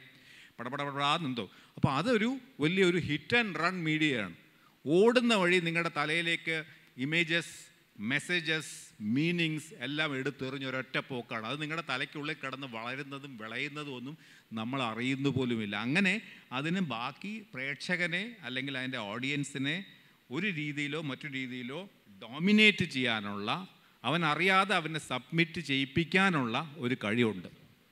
അത് വളരെ പ്രധാനപ്പെട്ട അതാണ് ഇതിന്റെ ഏറ്റവും വലിയ അപകടം. വേണ്ടത് എന്താണ് സാധാരണ പൗരൻ വായനക്കാരൻ പ്രേക്ഷകൻ മനസ്സിലാവേണ്ടത് മീഡിയ സാക്ഷരത മാധ്യമ സാക്ഷരത എന്നതിന്റെ ആവശ്യം ഈ പൊട്ടൻഷ്യാലിറ്റീസും പോസിബിലിറ്റീസും തിരിച്ചറിഞ്ഞ ഒരു മീഡിയ ലിറ്ററേറ്റ് ആയിട്ടുള്ള സൊസൈറ്റി ഇതിന്റെ അപകടവും ഇതിന്റെ സാധ്യതയും ഒരുപോലെ കണ്ടെത്തും. ഞങ്ങൾ രണ്ടിലും കൂടെ കടന്നു പോകുന്നവരാണ്. നിഷ്പക്ഷതയെപ്പറ്റി പിന്നെ സംസാരിക്കാം. അപ്പോൾ ഇങ്ങനെ ഒരു ഇതാണ് എനിക്കൊന്ന് ഡിസ്കസീവ് എന്ന് പറയുന്ന വാക്യവുമായിട്ട് എനിക്ക് മനസ്സിലാക്കിയ ഒരർത്ഥത്തിൽ കാണുമ്പം ഈ രണ്ട് രീതികളിലൂടെ കടന്നുപോയ എന്റെ അനുഭവം അല്ലെങ്കിൽ എന്റെ അനുഭവമല്ല ഇത് സംബന്ധിച്ച ഒരു ഒരു ഈ മാധ്യമങ്ങളുടെ രണ്ട് രീതിയിലുള്ള പ്രവർത്തനത്തിന്റെ ഒരു ഇമ്പാക്റ്റ് ഇങ്ങനെയാണെന്നാണ് എനിക്ക് പ്രാഥമികമായിട്ട് പറയാൻ തോന്നുന്നത്.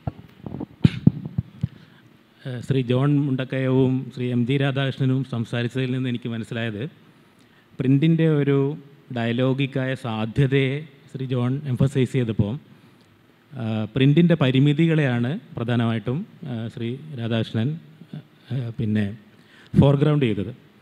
ആ പ്രിന്റിന്റെ പരിമിതിയെ ഞാൻ രണ്ട് ചർച്ച ഈ ചർച്ച സംവാദം ഡയലോഗ് അതിന്റെ സാധ്യത എന്നതിലേക്ക് കൂടുതൽ അടുപ്പിച്ചുകൊണ്ട് മുന്നോട്ട് കൊണ്ടുപോകാൻ ഞാൻ വിചാരിക്കുകയാണ്.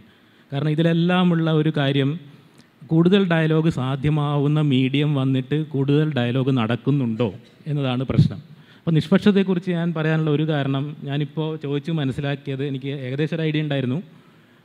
ശ്രീ ജോൺ ബ്രിട്ടാസ് പൊളിറ്റിക്കൽ സയൻസിൽ എം ഫിലും പൂർത്തിയാക്കാത്ത ഗവേഷണവും നടത്തിയിട്ടുള്ള ആളാണ്. ഞാൻ ഫിലോസഫിയിൽ പൂർത്തിയാക്കാത്ത ഗവേഷണം നടത്തിയ ഒരാളായതുകൊണ്ട് എനിക്ക് അതിൽ സന്തോഷമുള്ളതുകൊണ്ടാണ് അങ്ങനെ ക്വാളിഫൈ ചെയ്ത് പറഞ്ഞത്. അല്ലാതെ ഇൻസൾട്ട് ചെയ്യാൻ വേണ്ടിയിട്ടല്ല. അപ്പം നമ്മളൊരു അവയവം കുറേ കാലം ഉപയോഗിച്ചില്ലെങ്കിൽ അതിന് അട്രോഫി സംഭവിക്കുന്നുള്ളത് ഒരു പിന്നെ ബയോളജിക്കലായിട്ടുള്ളൊരു കാര്യമാണ്. അപ്പോൾ ഈ സോഷ്യൽ സയൻസിൽ പ്രാവീണ്യമുള്ള അതിൽ ട്രെയിനിങ് കിട്ടിയ ഒരാൾക്ക് മലയാളം വിഷ്വൽ മീഡിയയിൽ പ്രവർത്തിക്കുമ്പോൾ അത് എത്രത്തോളം ഉപകരിക്കുന്നുണ്ട് അതിങ്ങനെ ഉപയോഗിക്കാണ്ട് ഉപയോഗിക്കാണ്ട് തുരുമ്പിച്ച് പോകുന്നുണ്ടോ? നിങ്ങൾക്ക് എൻഗേജ് ചെയ്യാൻ വേണ്ടി വരുന്ന ഒരു സോഷ്യൽ സയന്റിസ്റ്റിനെ തത്വചിന്തകനെ ഈ പറയുന്ന രാഷ്ട്രീയക്കാരുടെ ഇടയിൽ നിർത്തുമ്പോൾ അവരെ ടാപ്പ് ചെയ്യാൻ പറ്റുന്നുണ്ടോ? എന്തെങ്കിലും ഉപയോഗമുണ്ടോ ഈ ട്രെയിനിങ് കൊണ്ട്? അല്ല നമ്മുടെ ഇതിനകത്ത് നേരത്തെ പറഞ്ഞ നിഷ്പക്ഷതയുടെയും കൂടി ചോദ്യം ഉന്നയിച്ചുകൊണ്ട് ഞാൻ മൈക്ക് കൈമാറാം. ഞാൻ നിഷ്പക്ഷത കൊണ്ട് ഉദ്ദേശിച്ചത് എന്തുകൊണ്ടാണ് ഈ നോൺസെൻസ് പറയുന്ന ആളുകളുടെ നോൺസെൻസിനെ എൻഗേജ് ചെയ്യാൻ ഈ മീഡിയയിൽ പ്രവർത്തിക്കുന്നവർ നിർബന്ധിതമാവുന്നത് അത് നമ്മൾ എൻജോയ് ചെയ്ത് ചെയ്യുന്നതല്ലെങ്കിൽ കാരണം അവിടെ ഒരു നിഷ്പക്ഷത നാട്യം നിലനിർത്താൻ ബാധ്യസ്ഥമായതുകൊണ്ടല്ലേ? അങ്ങനെ ഒരു നിഷ്പക്ഷതയുടെ ആവശ്യം ശരിക്കുണ്ടോ?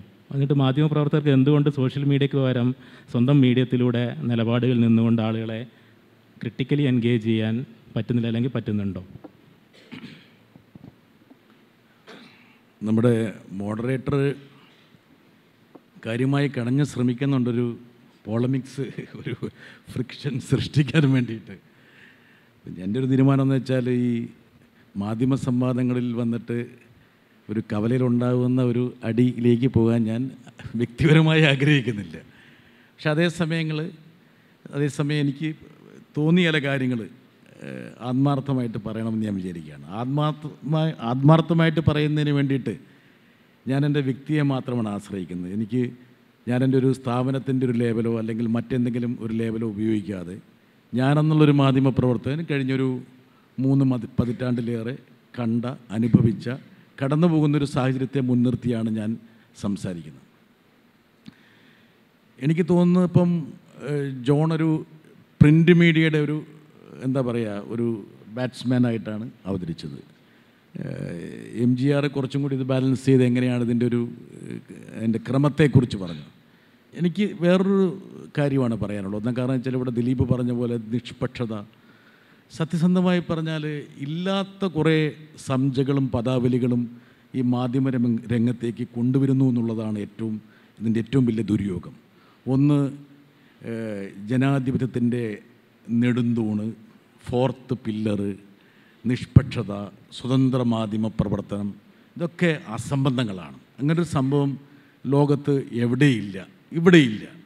ഇത് നിങ്ങളെ പറ്റിക്കാൻ അല്ലെങ്കിൽ പ്രേക്ഷകരെയോ അല്ലെങ്കിൽ വായനക്കാരെ പറ്റിക്കാൻ വേണ്ടിയിട്ട് ഇതിന്റെ വ്യവസായം എടുത്തുപയോഗിക്കുന്ന ചില പദാവലികൾ മാത്രമാണ് ഞാൻ പറഞ്ഞതിനോട് ഇവിടെ ആർക്കും വിയോജിപ്പുണ്ടാകാനുള്ള സാധ്യതയില്ല സത്യസന്ധമായി പറഞ്ഞു വിയോജിപ്പുണ്ടാകാം പക്ഷേ ഒരാൾ പോലും ഇവിടെ വിയോജിക്കുന്നു എനിക്ക് തോന്നുന്നില്ല എന്നാ കാരണം വെച്ചാൽ അല്ല എന്റെ അല്ലല്ല എന്റെ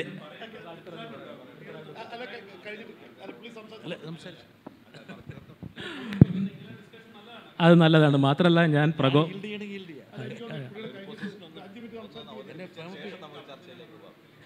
ഞാൻ പ്രകോപനം സൃഷ്ടിക്കാതിരിക്കാനായിരുന്നു കടഞ്ഞ് ശ്രമിച്ചത്. അത് അല്ല ഇപ്പോഴാണ് പ്രകോപനം ഉണ്ടായത്. അല്ല ഒരു ഒറ്റ കാര്യവും ഞാൻ പറയുന്നുള്ളൂ. ഒരു ഈ മാധ്യമങ്ങൾ ഒരു തരത്തിലും സത്യസന്ധമായ രീതിയിലല്ല പ്രവർത്തിക്കുന്നുള്ള ധാരണ ശരിയല്ല. എന്തോ?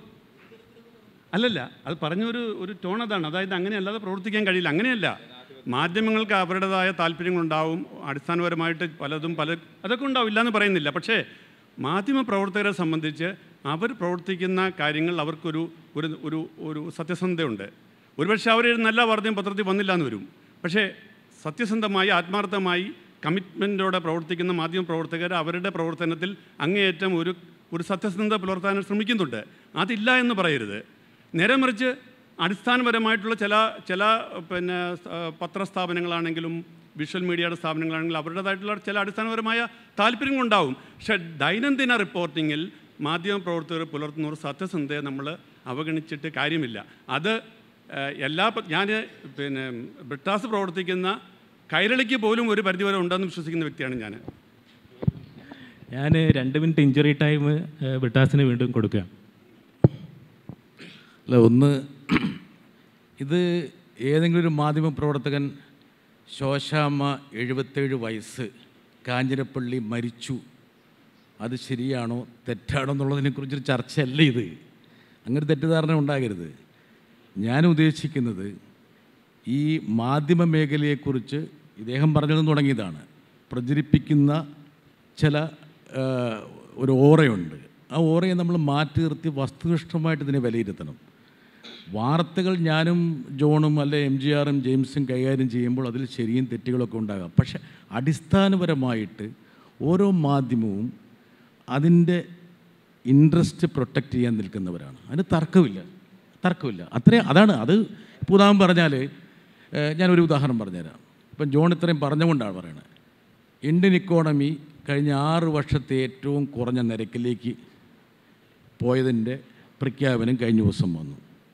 നാൽപ്പത് വർഷത്തെ ഏറ്റവും വലിയ തൊഴിലില്ലായ്മയിലേക്ക് രാജ്യം പോയി. ഓട്ടോമൊബൈൽ വ്യവസായം ക്രിപ്പിൾ ചെയ്യപ്പെട്ടു. മേക്ക് ഇൻ ഇന്ത്യ മറ്റത് മാനുഫാക്ചറിംഗ് എല്ലാം തകർന്നു. ആ സമയത്താണ് കേരളത്തിലൊരു പത്രാധിപർ കഴിഞ്ഞ ദിവസം അതേ ദിവസം തന്നെയാണ് പറയുന്നത് മോഡി ഇന്ത്യയെ വികസന കുതിപ്പിലേക്ക് നയിക്കുക എന്ന്. ഇതാണ്. ഇത് ഇത് ഇതൊക്കെ വസ്തുതയാണ്. നമ്മൾ സി നമ്മൾ മനസ്സിലാക്കേണ്ട ഒരു കാര്യം. അതായത് ഓരോ മീഡിയയ്ക്കും അതിന്റെ താല്പര്യങ്ങളുണ്ട്. അത് മനസ്സിലാക്കുക എന്നുള്ള വളരെ പ്രസക്തമായ കാര്യമാണ്. നമ്മളില്ലാന്ന് പറഞ്ഞിട്ട് കാര്യമില്ല. ഏതെങ്കിലും ഒരു വാർത്ത മാധ്യമപ്രവർത്തകൻ ശരിയായി കൊടുത്തോ ഇല്ലയോ എന്നുള്ളതിനെക്കുറിച്ചുള്ള തർക്കമല്ല. നമ്മൾ അടിസ്ഥാനകരമായിട്ട് പോവുകയാണ്. ഇന്ത്യൻ ഡെമോക്രസിയെ എന്റെ നാലാം തൂണാണ് മീഡിയ എന്നൊക്കെ പറഞ്ഞ് ഇന്നത്തെ കാലത്ത് ഏതെങ്കിലും മീഡിയ വിദ്യാർത്ഥി വിശ്വസിക്കുമോ മീഡിയയിൽ ഇൻവെസ്റ്റ് ചെയ്യുന്ന ആ വ്യവസായിയുടെ താല്പര്യങ്ങൾ എപ്പോഴും അവിടെ റിഫ്ലക്റ്റ് ചെയ്യപ്പെടും. എന്തുകൊണ്ടാണ് ടൈംസ് ഓഫ് ഇന്ത്യ രണ്ടായിരം കമ്പനിയിൽ ഷെയർ എടുത്ത്?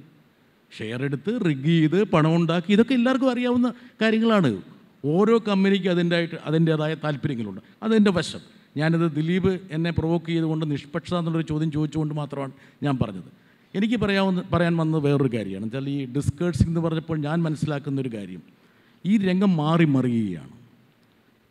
നമ്മളെ കണ്ണടച്ച് തുറക്കുന്നതിന് മുമ്പ് തന്നെ ഈ വിഷ്വൽ മീഡിയയിൽ വലിയ മാറ്റങ്ങൾ സംഭവിച്ചുകൊണ്ടിരിക്കുകയാണ്. ഒരു പക്ഷേ ഇവിടെ ഇരിക്കുന്ന ആൾക്കാരിൽ ബഹുഭൂരിപക്ഷം പേരും മീഡിയ വിദ്യാർത്ഥികളാകാനാണ് സാധ്യത. പരമ്പരാഗത ടെലിവിഷൻ വ്യവസായം തന്നെ ഡിസ്റപ്റ്റ് ചെയ്യപ്പെട്ടിരിക്കുന്നു. ടെക്നോളജിയിൽ വരുന്ന മാറ്റങ്ങൾ. ഇന്ന് ഒരുപക്ഷെ വിഷ്വൽ മീഡിയ പ്രവർത്തിക്കുന്ന എം ജി ആറിനും ജെയിംസിനും അറിയാം. എന്റർടൈൻമെന്റ് സെക്ടറിൽ നിന്ന് ഈ പറഞ്ഞ കൺവെൻഷണൽ ടെലിവിഷൻ അപ്രത്യക്ഷമായിക്കൊണ്ടിരിക്കുകയാണ്. ഒ ടി ടി പ്ലാറ്റ്ഫോംസ് അതായത് നെറ്റ്ഫ്ലിക്സും ആമസോണും ഹോട്ട്സ്റ്റാറും ഒക്കെ ഹൈലി പോപ്പുലർ ആകുകയാണ്. എന്തിനേറെ എഴുപത്തിരണ്ട് രാജ്യങ്ങളിൽ വർക്ക് ചെയ്തുകൊണ്ടിരിക്കുന്ന ന്യൂസ് കോർപ്പിന്റെ മർഡോക്കിന് പോലും പിടിച്ചു കഴിയാതെ ഡിസ്നി ആയിട്ട് മേർജ് ചെയ്യേണ്ടി വന്നു. അത്രത്തോളം മാറ്റങ്ങൾക്ക് വിധേയമായിക്കൊണ്ടിരിക്കുകയാണ്. അതൊരു മേഖല.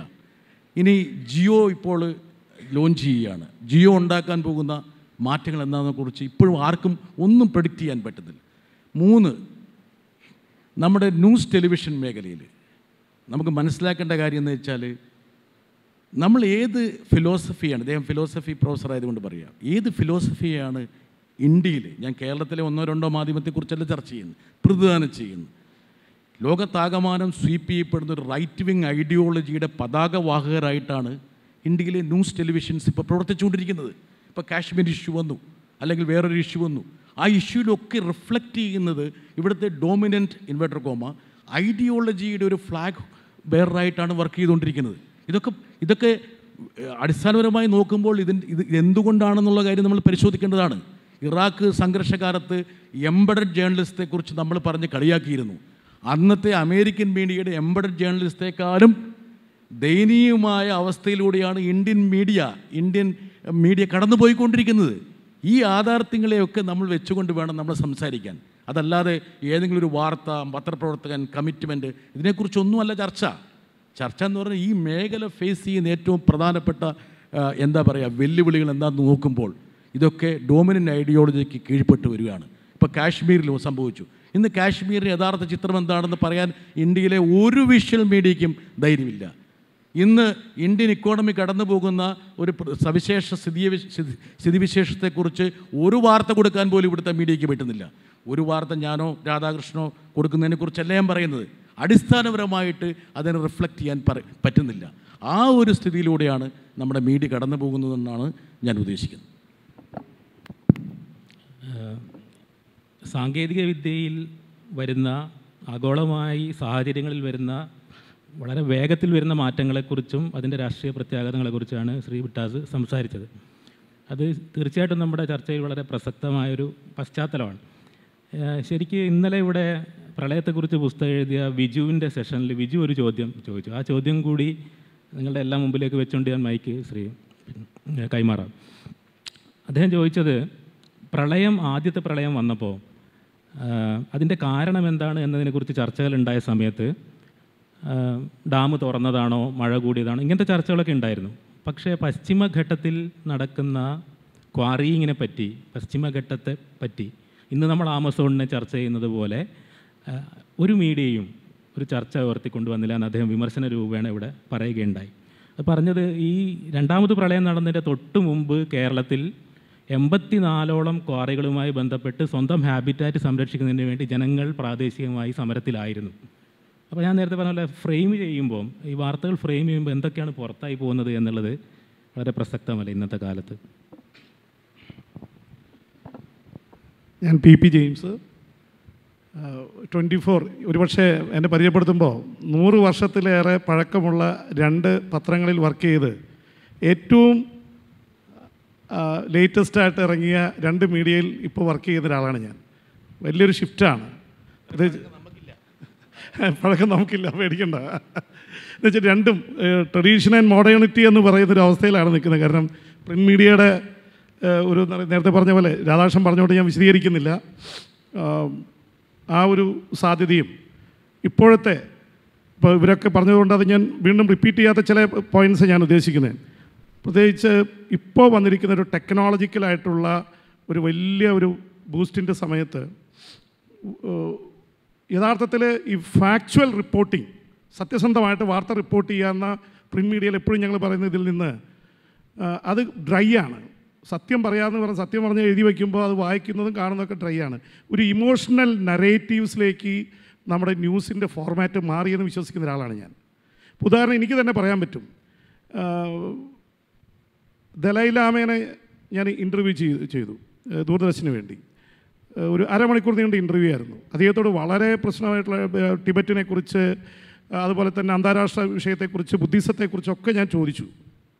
പക്ഷെ അത് കഴിഞ്ഞ് എന്റെ അവസാന ഭാഗത്ത് ഞാൻ ചോദിച്ചൊരു ചോദ്യമായിരുന്നു what's your reaction on Tibetan youngsters and their activities പുള്ളി ഭയങ്കര ആവേശഭരിതനായിട്ട് പറഞ്ഞു the very dedicated committed dynamic എന്നൊക്കെ പറഞ്ഞ് അദ്ദേഹം പറഞ്ഞു. അപ്പോൾ എനിക്ക് എന്നിലുള്ളൊരു പത്രപ്രവർത്തകനൊരു കുസൃതി തോന്നി. So why then many of your youngsters are committing suicide അദ്ദേഹം എന്റെ മുഖത്ത് ഇങ്ങനെ നോക്കി ഇങ്ങനെ നിന്നിട്ട് ഒരു പത്ത് സെക്കൻഡ് കഴിഞ്ഞപ്പോൾ അദ്ദേഹം ഇങ്ങനെ കണ്ണിൽ നിന്ന് ഇങ്ങനെ കണ്ണീർ വന്നുകൊണ്ടിരുന്നു. പിന്നെ അദ്ദേഹം അതിന് മറുപടി പറയാൻ ശ്രമിച്ചു. അപ്പോൾ വിങ്ങിപ്പൊട്ടിപ്പോയി കരഞ്ഞു. ഇതൊരു വലിയ ഒരു ഡ്രാമ. ഞാൻ ഇമോഷണൽ നെറേറ്റീവ്സിന്റെ അതാ പറയുന്നത് ഇതൊക്കെ ഇന്റർവ്യൂ വന്നിട്ട് ഇതിന്റെ വൈറൽ കട്ടായിട്ട് വന്നത് ഈ ദലൈലാമയുടെ ദലൈ ലാമയുടെ കരച്ചിലാണ്. ഒരുപക്ഷെ ഏറ്റവും കൂടുതൽ അത് എന്നെ അമേരിക്കയിൽ നിന്ന് എന്റെ ബന്ധു വിളിക്കുന്നു അവിടെ സി എൻ എന്നിൽ ഇത് വരുന്നു ഈ പുള്ളി കരയുന്ന രംഗം. അതിനേക്കാൾ എത്രയോ പ്രസക്തമായ കാര്യങ്ങൾ ആ ഇന്റർവ്യൂവിൽ അധികം പറഞ്ഞിട്ടുണ്ട്. അതൊന്നുമല്ല അവിടെ ഇത് ചെയ്തത്. ദലൈലാമ കരഞ്ഞു എന്നുള്ളതാണ്.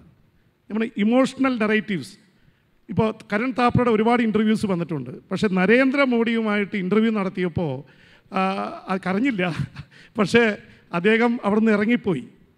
നരേന്ദ്രമോദി കരൺ താപ്പറിന്റെ ഇന്റർവ്യൂവിലെ ചോദ്യത്തിന് മറുപടി പറയാതെ അദ്ദേഹം ചൂടായൂലൊന്നുമില്ല. അദ്ദേഹം അദ്ദേഹത്തിന് വ്യക്തമായിട്ടുള്ള അഭിപ്രായ വ്യത്യാസം കാണിച്ച് എഴുന്നേറ്റ് പോയി. ആ വിഷുലാണ് ഒരുപക്ഷെ ഏറ്റവും കൂടുതൽ കടന്നുപോയത്.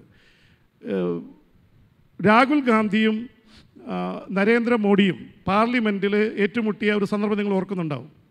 വലിയ എന്താ പറയുക എനിക്ക് രാഹുൽ ഗാന്ധിയുടെ one of the best performance അദ്ദേഹത്തെക്കുറിച്ച് ഒരുപാട് വേറെ ആക്ഷേപങ്ങളുണ്ടല്ലോ. അദ്ദേഹത്തെ പ്രത്യേകിച്ച് ബി ജെ പി ഒക്കെ പറയുന്ന. പക്ഷെ ഒരു നല്ലൊരു പെർഫോമൻസ് നടത്തിയതാണ്. ആ പെർഫോമൻസിനേക്കാൾ ഒരു പക്ഷേ ഒരു പക്ഷേ അല്ല ദേശീയ മാധ്യമങ്ങളും ഇവിടുത്തെ മാധ്യമങ്ങളും ഒക്കെ വിഷ്വൽ കൊടുത്തുകൊണ്ടിരുന്നത് അധികം പ്രസംഗ ശേഷം പോയിട്ട് നരേന്ദ്രമോദിയെ ഹഗ് ചെയ്ത ആ വിഷ്വലാണ് ഏറ്റവും കൂടുതൽ നമ്മുടെ മനസ്സിൽ ഇത് ചെയ്യുന്ന രീതിയിൽ ഇങ്ങനെ കാണിച്ചുകൊണ്ടിരുന്നത്. അപ്പോൾ ഒരു റയർ ആയിട്ടുള്ളൊരിത് അല്ലെങ്കിൽ ഒരു ഇമോഷണൽ നറേറ്റീവ് ഇതിന് വലിയ രീതിയിലുള്ളൊരു പ്രാധാന്യം ഞാൻ പറയാം അതൊരു പോസ്റ്റ് ന്യൂസ് ഈറ എന്ന് പറയും. വേണമെങ്കിൽ ഞാൻ അങ്ങനെ പറയുകയാണ് അപ്പം റിപ്പോർട്ടിംഗ് നമ്മൾ സത്യസന്ധമായിട്ട് ഇപ്പോൾ ഞങ്ങളൊക്കെ ഇത് ചെയ്യുന്ന കാലത്ത് വലിയ ബ്രേക്കിംഗ് ന്യൂസ് കൊടുത്തിട്ടുണ്ട്. ജോൺ ആയാലും ബ്രിട്ടാസ് ആയാലും ബ്രിട്ടാസ് കുറച്ച് കാലം ദേശാമയിൽ വർക്ക് ചെയ്തിട്ടുണ്ട്. എം ജി രാധാകൃഷ്ണനായാലും ഇന്ത്യ ടുഡേയിൽ അദ്ദേഹം ഒരുപാട് ബ്രേക്സ് കൊടുത്തിട്ടുണ്ട്. ഞാൻ ജപ്പാൻ കുടിവെള്ള പദ്ധതി സംഭവത്തിൽ എ കെ ആന്റണിക്കെതിരെ അഴിമതി ആരോപണം കൊണ്ടുവന്നൊരു പത്രപ്രവർത്തനം. അന്ന് കാലത്ത് അത് മൂന്നാൽ മാസം വെള്ളം വെച്ചാണ്. അതൊക്കെ ഒരു പക്ഷേ ഇൻഡെപ്ത് റിപ്പോർട്ടിങ്ങിന്റെ ഒരു രീതിയിൽ പത്തോ തൊണ്ണൂറ് ദിവസമൊക്കെ ഒരുപക്ഷെ ഫോളോ അപ്പ് ചെയ്ത് കൊണ്ടുപോയ സ്റ്റോറികളാണ് അതിനൊന്നൊരു വിഷ്വൽ എലമെന്റ് നമ്മൾ എഴുതുകയാണ്. പക്ഷേ ഇപ്പോൾ ഒരു സ്റ്റോറി വരുമ്പോൾ അതിന്റെ ഇമ്പാക്റ്റ് ഒറ്റ ഫ്രെയിമിൽ അല്ലെങ്കിൽ ഒരു വരുന്ന നല്ലൊരു ഇതിൽ ഇപ്പോൾ പ്രളയത്തെക്കുറിച്ച് ഇവിടെ സംസാരിച്ചു. എന്റെ മനസ്സിൽ എപ്പോൾ പെട്ടെന്ന് കഴിഞ്ഞ പ്രളയത്തിൽ ചോദിക്കുമ്പോൾ ഒരു കാരുണ്യത്തിന്റെ മുഖം വരുന്നുണ്ടെങ്കിൽ അത് ഒരു ആളെ പേര് ഞാൻ മറന്നുപോയി. അദ്ദേഹം കിടന്നിട്ട് മറ്റുള്ളവർക്ക് ചവിട്ടിക്ക ഇത് ചെയ്യാൻ ഇന്റർനാഷണൽ ജെയ്സൽ ജെയ്സൽ. ജെയ്സൽ കിടന്നു കൊടുത്തിട്ട് സ്ത്രീകളൊക്കെ അദ്ദേഹത്തിന്റെ പുറത്ത് ചവിട്ടി വെള്ളത്തിൽ നിന്ന് മറ്റു ബോട്ടിലേക്ക് കയറുന്ന ഒരു രംഗം വിദേശ മാധ്യമങ്ങളൊക്കെ വലിയൊരു വൈറലായിരുന്നു അത്. ഇപ്പോൾ ഈ അടുത്ത കാലത്ത് നിങ്ങൾക്കറിയാം പെട്ടെന്നൊരു കാരുണ്യത്തിന്റെ മുഖം ഓർമ്മ നൗഷാദിന്റേതാണ് ഒരു പാവപ്പെട്ട തെരുവോര കച്ചവടക്കാരൻ ഇവരുടെ അടുത്ത് ഇങ്ങനെ ഇവർ ഈ പ്രളയബാധിതരെ സഹായിക്കാൻ വേണ്ടി ചോദിച്ചു ചെല്ലുമ്പോൾ അദ്ദേഹത്തിന്റെ കട തുറന്നിട്ട് എല്ലാ വസ്ത്രങ്ങളും എടുത്തു കൊടുക്കുന്നത് അത് അദ്ദേഹം ഒന്നും ആഗ്രഹിച്ചിട്ടല്ല. പക്ഷേ ഈ എനിക്കൊരു പക്ഷേ എനിക്ക് തോന്നുന്നത് നമ്മുടെ ഈ മൊബൈലിന്റെ ഒരു ശക്തിയാണ്. മൊബൈലും ഈ ഓൺലൈൻ മീഡിയയുടെ ഒരു ശക്തിയാണ് സോഷ്യൽ മീഡിയയുടെ. അതിൽ ഇട്ടതാണ്. അത് എന്തൊരു വൈറലായെന്ന് മാത്രമല്ല അതൊരു എന്താ പറയുക കരുണയുടെ ഒരു സിംബോളിക് റെപ്രസെന്റേഷനായിട്ടത് കേരളം മുഴുവൻ കേരളത്തിനപ്പുറത്തും പോയി. നൗഷാദ്. അപ്പോൾ ഇങ്ങനെയുള്ള നെറേറ്റീവ്സിന് ഇമോഷണൽ നെറേറ്റീവ്സ് ഫാക്ച്വൽ റിപ്പോർട്ടിങ്ങിന്റെ അപ്പുറത്തേക്ക് ലോകത്തെ കീഴടക്കുന്ന ഒരു ചിത്രമാണ് ഞാൻ പ്രത്യേകിച്ച് ഞാൻ അതുകൊണ്ടാണ് ഇത്രയും ഇത് പറഞ്ഞത്. ആ ഒരു ഒരു തലത്തിലേക്ക് കാര്യങ്ങൾ മാറിയിരിക്കുന്നു എന്നുള്ള അഭിപ്രായമുണ്ട് അത് യഥാർത്ഥ ജേർണലിസമാണോ എന്ന് ചോദിച്ചാൽ ജേർണലിസത്തിന്റെ ഒരു വേറെ മുഖമാണ്. പക്ഷേ ചിലപ്പോൾ ഒരു ഫാക്ച്വൽ ഇതുണ്ടാവണമെന്നില്ല. ചിലപ്പോൾ നമ്മൾ ഹൈലൈറ്റ് ചെയ്യാൻ ഉദ്ദേശിക്കുന്ന കാര്യങ്ങളായിരിക്കില്ല ഹൈലൈറ്റഡ് ആയിട്ടുള്ളത്. ഇപ്പോൾ അദ്ദേഹം പറഞ്ഞു പ്രളയത്തിന്റെ ഒരു എന്താണ് കാരണമായിട്ടുള്ള കാര്യം? മീഡിയ ചർച്ച ചെയ്തില്ല എന്ന് പറയുന്നത് ഒരു നൂറ് ശതമാനം ഞാൻ സമ്മതിക്കുന്നില്ല. ചില കാര്യങ്ങളൊക്കെ ചർച്ച ചെയ്തിട്ടുണ്ട്. പക്ഷെ അത് ഒറ്റ പോയിന്റിലേക്ക് പോയി. നിങ്ങൾ പറഞ്ഞ ഒറ്റ പോയിന്റിലേക്ക് പോയി. മാധവ് ഗാഡ്ഗിൽ റിപ്പോർട്ട് നടപ്പിലാക്കിയിരുന്നെങ്കിൽ ഇവിടെ പ്രളയമുണ്ടാവില്ലായിരുന്നു എന്നുള്ള തരത്തിലേക്ക് ഞങ്ങളുടെ മീഡിയ പോയി. മാധവ് ഗാഡ്ഗിൽ റിപ്പോർട്ട് മാധവ് ഗാഡ്ഗിലിന്റെ സംസാരം. അപ്പോൾ അതിൽ കോറികൾ വന്നു. കോറികളിൽ മാത്രമായിട്ട് ഇത് ചെയ്തു. തീർച്ചയായിട്ടും കോറികൾ പശ്ചിമഘട്ടത്തെ തകർത്തത് ഇതിന്റെ വലിയൊരു ഫാക്ടറാണ് നിഷേധിക്കുന്നില്ല. അത് മാത്രമാണോ? നമ്മൾ ഫാക്ച്വൽ ഇതിലേക്ക് പോകുമ്പോൾ കഴിഞ്ഞ കാലങ്ങളിൽ നമുക്ക് കിട്ടിയതിന്റെ രണ്ടോ മൂന്നോ ഇരട്ടി മഴ ഒരേ സമയത്ത് അതിതീവ്ര മഴ എന്നുള്ള ഒരു ഇത് വന്നിരിക്കുന്നു. അപ്പോൾ അതിതീവ്ര മഴ എന്തുകൊണ്ട് കഴിഞ്ഞ രണ്ട് വർഷം ഉണ്ടായി? അതിനെക്കുറിച്ചുള്ള ഇതിലേക്ക് ഒരുപക്ഷെ നമ്മുടെ മാധ്യമങ്ങൾ വേണ്ടിടത്ത് പോയോ എന്ന് സംശയമുണ്ട്. അതിതീവ്ര മഴ വന്നതിന്റെ ഒരു കാര്യം അതുപോലെ നമ്മൾക്ക് സാധാരണ മഴ കിട്ടുന്ന സമയത്താണ് ഇപ്പോൾ മഴ പെയ്യുന്നത്? അങ്ങനെ പോകുമ്പോൾ ഗ്ലോബൽ വാർമിങ് കാർബൺ ഡയോക്സൈഡിന്റെ കണ്ടന്റ് മഞ്ഞുരുകൽ ഇങ്ങനെ തുടങ്ങിയിട്ടുള്ള ഒരുപാട് പ്രതിഭാസങ്ങളിലേക്ക് പോകേണ്ടി വരും. ആ തരത്തിലേക്കുള്ള ഒരു വിശാലമായ ചർച്ചയിലേക്ക് പോയില്ല. നമുക്ക് പെട്ടെന്ന് കിട്ടിയത് മാധവ് ഗാഡ്ഗിലും ക്വാറിയാണ്. തീർച്ചയായിട്ടും അത് മേ ബി ഒരു വൺ ഓഫ് ദ ബെസ്റ്റ് പ്രധാനപ്പെട്ട ഫാക്ടറാണ് പക്ഷെ അത് മാത്രമാണോ? അപ്പോൾ ആ ഫാക്ടേഴ്സിലേക്ക് പോകുന്നത് ഡീപ്പായിട്ടുള്ള കാര്യങ്ങളിലേക്ക് പോകുന്നത് പോകുന്നതിൽ ഇന്നത്തെ മീഡിയ പരാജയപ്പെടുന്നു എന്നുള്ളതാണ് എന്റെ ഒരു ഇത്. ഇപ്പോൾ ഞാനടക്കമാണ് ഐ എം നോട്ട് ക്രിറ്റിസൈസിങ് അവർ നമ്മളെല്ലാം. പിന്നെ ഇതിൽ വേറൊരു കാര്യം കൂടി ഡിസ്കഷന് വേണ്ടി ഞാൻ വെക്കുന്നത് വളരെ പോസിറ്റീവായിട്ടുള്ള കാര്യം. ഇവിടെ ജോൺ ബ്രിട്ടാസ് പറഞ്ഞ ഒരു കാര്യം ഒരു പരിധി രണ്ടുപേരും പറഞ്ഞതിൽ സത്യമുണ്ട്. പക്ഷേ അർദ്ധ സത്യങ്ങളല്ലേ ശരിക്കും? ഒരു മീഡിയയുടെ ഒരു കോൺട്രിബ്യൂഷൻ അങ്ങനെ നമുക്ക് തള്ളിക്കളയാൻ പറ്റുമോ? മീഡിയയിൽ ഇപ്പം ഞാനൊരു വാർത്ത കൊടുക്കണ്ടെന്ന് വെച്ച് തമസ്കരിച്ചാൽ അത് നാളെ ബ്രിട്ടാസിന്റെ മീഡിയയിൽ വരും. അല്ലെങ്കിൽ ബ്രിട്ടാസ് ഒതുക്കിയാൽ അത് നമ്മൾ കൊടുക്കും. ആയിരക്കണക്കിന് ഇന്നലെ മോഡി അതല്ലേ പറഞ്ഞത്? ആയിരക്കണക്കിന് മീഡിയ ഇവിടെയുണ്ട്. മറ്റേ പ്രിന്റ് മീഡിയ. ഒരു പത്രത്തിൽ അത് വന്നില്ലെങ്കിൽ വേറെ പത്രത്തിൽ വരും. ഒരു ടെലിവിഷൻ ചാനലിൽ വന്നില്ലെങ്കിൽ വേറൊരു ടെലിവിഷൻ ചാനൽ വരും.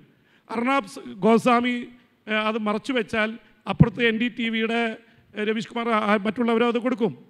അപ്പോൾ അതുകൊണ്ട് ഈ ഡൈവേഴ്സിറ്റിയും എന്നറിയാം ഒരുപാട് മീഡിയയുടെ പ്രസൻസും ഡിഫറെന്റ് വ്യൂസുള്ള ഫലത്തിൽ ഇതെല്ലാം ചേർത്ത് വെക്കുമ്പോൾ സത്യം പുറത്തു വരും. ഇനി പ്രിന്റ് മീഡിയ കൊടുത്തില്ല വിഷ്വൽ മീഡിയ കൊടുത്തില്ല ഡീസെൻട്രലൈസേഷൻ ഓഫ് ന്യൂസ് ഈ ലോകത്ത് നടന്നിരിക്കുന്നു. നേരത്തെ കമ്പ്യൂട്ടറും ഇന്റർനെറ്റും വന്ന സമയത്ത് ഉണ്ടായിട്ടുള്ള ഒരു വലിയ ഇതെന്ന് പറയുന്നത് നമുക്ക് വെസ്റ്റേൺ കൺട്രീസിലൊക്കെ നടക്കുന്ന സയന്റിഫിക് ഇന്നോവേഷൻ ടെക്നോളജിക്കൽ ഇന്നോവേഷനൊക്കെ ഒരുപക്ഷെ സയന്റിഫിക് അമേരിക്കയൊക്കെ വരുമ്പോഴാണ് ഞങ്ങളൊക്കെ പഠിക്കുന്ന കാലത്ത് ഇത് വായിക്കാൻ പറ്റിയിരുന്നത്. ഇന്റർനെറ്റ് വന്നതിന് ശേഷം ഒരു ഫിംഗർ ടിപ്പിൽ നമുക്ക് എവിടെ എന്ത് നടക്കുന്നുണ്ടെങ്കിലും ഗൂഗിളിൽ പോയ ഒരുവിധം എല്ലാം ഡെപ്തിൽ പറയുന്നില്ല കാര്യങ്ങൾ കിട്ടുമായിരുന്നു. ഇന്ന് വലിയ വ്യത്യാസം വന്നിരിക്കുന്നു. സിറ്റിസൺ ജേർണലിസം എന്നും ഓൺലൈൻ ജേർണലിസവും ഒക്കെ വന്നതോടുകൂടി എവറി ഇവിടെ ഇരിക്കുന്ന ഓരോരുത്തരും ജേർണലിസ്റ്റുകളാണ്. ഇതുവരെ ഞങ്ങൾ പറഞ്ഞുകൊണ്ടിരുന്നത് ഞങ്ങളാണ് ജേർണലിസ്റ്റുകൾ. We are the gate keepers ഞങ്ങൾ തീരുമാനിക്കും. ജോൺ ബട്ടാസ് തീരുമാനിക്കും എന്ത് കൈരളിൽ വരണം എന്നുള്ളത്. അല്ലെങ്കിൽ വേറെ ഒരു എഡിറ്റർ തീരുമാനിക്കും. അല്ലെങ്കിൽ അദ്ദേഹത്തിന് കൂടെയുള്ള ഒരു ടീം തീരുമാനിക്കും. അമ്പതിനായിരോ അറുപതിനായിരോ ന്യൂസ് വരുന്നതിൽ ഈ ന്യൂസ് കണ്ടാൽ മതി എന്നുള്ളത് തീരുമാനിക്കും. ഇന്ന് അങ്ങനെയല്ലല്ലോ. ഞങ്ങളൊക്കെ ഇതൊക്കെ തമസ്കരിക്കാൻ തീരുമാനിച്ചാൽ നിങ്ങളിരിക്കുന്നവർ ഇവിടെ ഇടുന്ന ഒരു എന്താ പറയുക ഒരു ന്യൂസ് അത് ഒരുപക്ഷെ വലിയ വൈറലായിട്ട് പോവില്ലേ? ഇപ്പോൾ അറിയാലോ റാണി മുണ്ടേൽ എന്ന ഒരു ഭിക്ഷക്കാരി റെയിൽവേ സ്റ്റേഷനിലെ. അവിടെ ഒരു എഞ്ചിനീയർ എടുത്തിട്ട ഒരു ചിത്രം ഒരു എത്ര കോടിക്കണക്കിന് ആൾക്കാരല്ലേ കണ്ടത്? കാരണം അവർ പാട്ട് പാടുന്നു അവർ ലതാ മങ്കേഷ്കറെ വെല്ലുന്ന രീതിയിൽ പാട്ട് പാടുന്നു എന്നുള്ള തരത്തിൽ അത് പ്രചരണമായി വൈറലായി. അവരെ ഒരു സംഗീത സംവിധായകൻ അവരെ പാട്ട് പാടിക്കാൻ കൊണ്ടുവന്നു അവർ സിനിമയിൽ പാടുന്നു അവരുടെ ലേഔട്ടും ഞങ്ങളുടെ ഭാഷയിൽ പറഞ്ഞാൽ മേക്ക് ഓവർ തന്നെ മാറുന്നു. ഒരു വ്യക്തിയുടെ ജീവിതത്തിൽ പോലും എന്താ പറയുക ഭയങ്കരമായ തരംഗമുണ്ടാക്കാൻ സോഷ്യൽ മീഡിയയ്ക്ക് കഴിയുന്നു. അപ്പോൾ ഈ സോഷ്യൽ മീഡിയയുടെ ഇമ്പാക്റ്റിനെ കുറിച്ചും ചർച്ച ഉണ്ടാവേണ്ടതാണ്. അപ്പം print media visual media online ഇനി രണ്ട് വാക്ക് ഞങ്ങളുടെ ചാനലുമായി ബന്ധപ്പെട്ട് ഞങ്ങൾ ഇപ്പോൾ ആറ് മാസമായിട്ടുള്ള ഞാൻ ന്യൂസ് ചാനൽ ട്വന്റി ഫോർ തുടങ്ങിയിട്ട് ഞങ്ങൾ ഏറ്റവും കൂടുതൽ ഉപയോഗിക്കുന്നത് ടെക്നോ ഈ പറഞ്ഞ രാഷ്ട്രീയവും മറ്റു കാര്യങ്ങളൊക്കെ ഉണ്ടെങ്കിലും ഞങ്ങൾക്ക് ഏറ്റവും കൂടുതൽ ഇപ്പോൾ റേറ്റിങ്ങും ശ്രദ്ധയും പിടിച്ചു പറ്റിയിരിക്കുന്നത് ഓഗ്മെന്റഡ് റിയാലിറ്റിയും വെർച്വൽ സെറ്റുമാണ്. നിങ്ങളൊരു പക്ഷേ ഞങ്ങളുടെ ട്വന്റി ഫോർ ന്യൂസ് കാണുന്നുണ്ടെങ്കിൽ അതിൽ രണ്ട് ഒരു ഗ്രീൻ ക്രോമയിൽ ഇരുന്നു കൊണ്ടാണ് ഈ വാർത്ത വായിക്കുന്നത്. വേറെ ഒരു സെറ്റും ഇല്ല അതിന്റെ ഉള്ളിൽ. പക്ഷേ you know what is virtual. ഇതൊന്നും കാണുന്ന ഒന്നും ശരി മറ്റേ ബി ബി സിയുടെ സെറ്റ് പോലുള്ള സെറ്റാണ് നിങ്ങൾ കാണുന്നത്. വെർച്വൽ ഇതാണ്. ഓഗ്മെന്റ് റിയാലിറ്റി ഞാനൊരു ഡിസ്കഷന് വേണ്ടി കൂടിയാണ്. അപ്പോൾ പുതിയ ടെക്നോളജി ഉണ്ടാക്കുന്ന ഒരു സ്വാധീനം അതും കൂടി ഈ ചർച്ചയിൽ കൊണ്ടുവന്നാൽ കൊള്ളാം. എന്റെ സമയം ഞാൻ നീട്ടിക്കൊണ്ടു പോകുന്നില്ല. അടുത്തതിൽ ഞാൻ I will continue thank you പത്ത് മിനിറ്റ് എന്തായാലും നമുക്ക് ചർച്ചയ്ക്ക് വേണം. പത്ത് മിനിറ്റ് ബാക്കിയുണ്ട്. ഞാൻ തുടക്കത്തിൽ സൂചിപ്പിച്ച ശരിക്കും ഈ ഫോർമാറ്റിൽ ഒരു ചർച്ച വാമായി വരാൻ രണ്ട് മണിക്കൂർ അടുത്ത വർഷം ഈ പരിപാടി നടത്തുകയാണെങ്കിൽ ആ രൂപത്തിൽ പ്രൈം ടൈം ചർച്ചയുടെ ഫോർമാറ്റ് ബ്രേക്ക് ചെയ്യണമെന്ന് സംഘാടകരുടെ ഒരു സജഷൻ ഇവിടെ വെക്കുന്നു. ശ്രീ ജെയിംസ് ഈ വിഷയത്തിന്റെ മർമ്മപ്രധാനമായ ഒരു കാര്യം പരോക്ഷമായിട്ട് ഹൈലൈറ്റ് ചെയ്തു. ഞാൻ മനസ്സിലാക്കുന്നത് എന്താണ് ഈ ഡിസ്കേഴ്സീവ് സ്പേസ് എന്നുള്ളത്? ഒറ്റ വാചകത്തിൽ പറഞ്ഞാൽ ഒരു ഇരുപത് കണ്ണാടിയുടെ വെക്കുകയാണെങ്കിൽ അവിടെയുള്ള ആളുകളെ അല്ല കണ്ണാടി റിഫ്ലക്റ്റ് ചെയ്യുന്നത്. ഒരു കണ്ണാടി ഉള്ളത് മറ്റേ കണ്ണാടി റിഫ്ലക്റ്റ് ചെയ്യാണ്. എക്സ്ക്ലൂസീവ്സിന്റെ കാലം എന്തുകൊണ്ടാണ് ഇല്ലാണ്ടായത്? കാരണം എക്സ്ക്ലൂസീവ് ആണെങ്കിൽ അത് സത്യമല്ല എന്ന് ആളുകൾ വിശ്വസിക്കും. ഒരു ചാനലിൽ മാത്രം ഒരു വാർത്ത വന്നാൽ ആർക്കും വിശ്വാസമില്ല. അതുകൊണ്ട് ഒരു ചാനലിൽ ഒരു എക്സ്ക്ലൂസീവ് വാർത്ത കിട്ടിയ റിപ്പോർട്ടർ ആദ്യം മറ്റുള്ളവരെ വിളിച്ച് പറയുന്ന അവസ്ഥ വന്നു.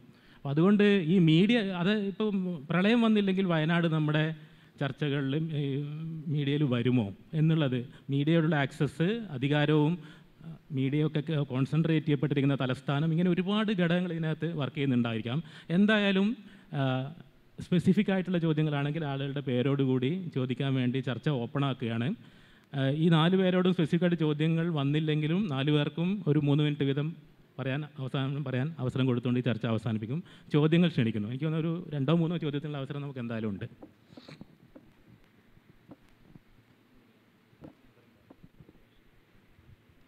ഹലോ ഹലോ ഹലോ ഈ പാര ഹലോ പാരഡോക്സ് ഓഫ് ചോയ്സ് എന്നൊരു ഇഷ്യൂ ഇല്ലേ? കാരണം ഈ സ്പേസ് എന്ന് പറയുന്നത് നമ്മുടെയൊക്കെ അറ്റൻഡൻസ് സ്പാൻ വളരെ ലിമിറ്റഡ് ആണ്.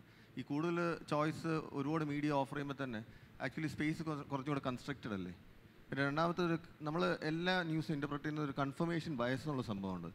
ഇൻഡിവിജ്വൽ എന്താണോ ശരിയെന്ന് തോന്നുന്നത് ആ ന്യൂസ് കൺഫേം ചെയ്യുന്ന ചാനൽ ഏതാണോ അത് തേടി പോകുന്നു. അപ്പം അതും എന്താണ് ഈ പറഞ്ഞ ഒരു സ്പേസ് കുറച്ചും കൂടെ കൺസ്ട്രക്റ്റഡ് ആകുകയല്ലേ ചെയ്യുന്നത്? ആ ചോദ്യം ആരാണ് ഏറ്റെടുക്കുന്നത്? ഈ എനിക്കൊരു വിയോജിപ്പ് ദിലീപിനോടുണ്ട്. കാരണം വെച്ചാൽ അത് ഒരു ഒരു പക്ഷേ അതൊരു വളരെ ലളിതവൽക്കരണമാണ്. അതായത് ഒരുപാട് ചാനലുകൾ ഉണ്ടെങ്കിൽ ഒരുപാട് ഓപ്ഷൻസ് ഉണ്ടെന്നുള്ളത്. തെറ്റാണത്. ഇത് കേരളം പോലുള്ളൊരു സ്ഥലത്ത് വേണമെങ്കിൽ അത് വേണമെങ്കിൽ പറയാം. ഇന്ത്യയുടെ മൊത്തം പിക്ചർ എടുത്തു കഴിഞ്ഞാൽ ചാനലുകളുടെ എണ്ണം കൂടിയതുകൊണ്ട് ഒരു പ്ലൂറലിസം ഉണ്ടായി എന്ന് പറയാൻ പറ്റില്ല. തെറ്റാണത്. എന്ന കാരണം വെച്ചാൽ അങ്ങനെ ഒരു സംഭവം ഉണ്ടായിട്ടില്ല.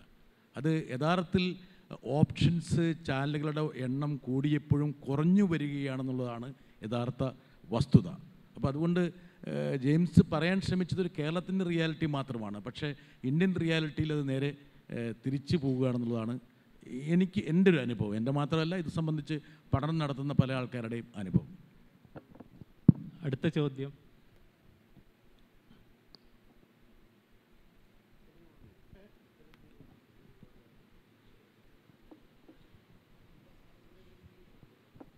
അപ്പോൾ എന്റെ ഒരു ചെറിയ എക്സ്പീരിയൻസ് വെച്ച് like I have understood it is that എല്ലാ മീഡിയയ്ക്കും എല്ലാ എല്ലാ like even if it is visual media or it is print media എല്ലാ മീഡിയയ്ക്കും അവരുടേതായ അവരുടേതായ ഒരു രാഷ്ട്രീയം ഉണ്ടെന്നാണ് എന്റെ ഒരു ലൈക്ക് ലൈക്ക് ഒരു മൂന്ന് പത്രം ഒരു ദിവസം വായിച്ചാലാണ് like we can find the like like true fact like like ഇതിനൊരു change like will the be a positive change towards this എന്നാണ് ലൈക്ക് ക്ലിയർ ആവുന്നില്ല. കുറച്ചുകൂടി ഒന്ന്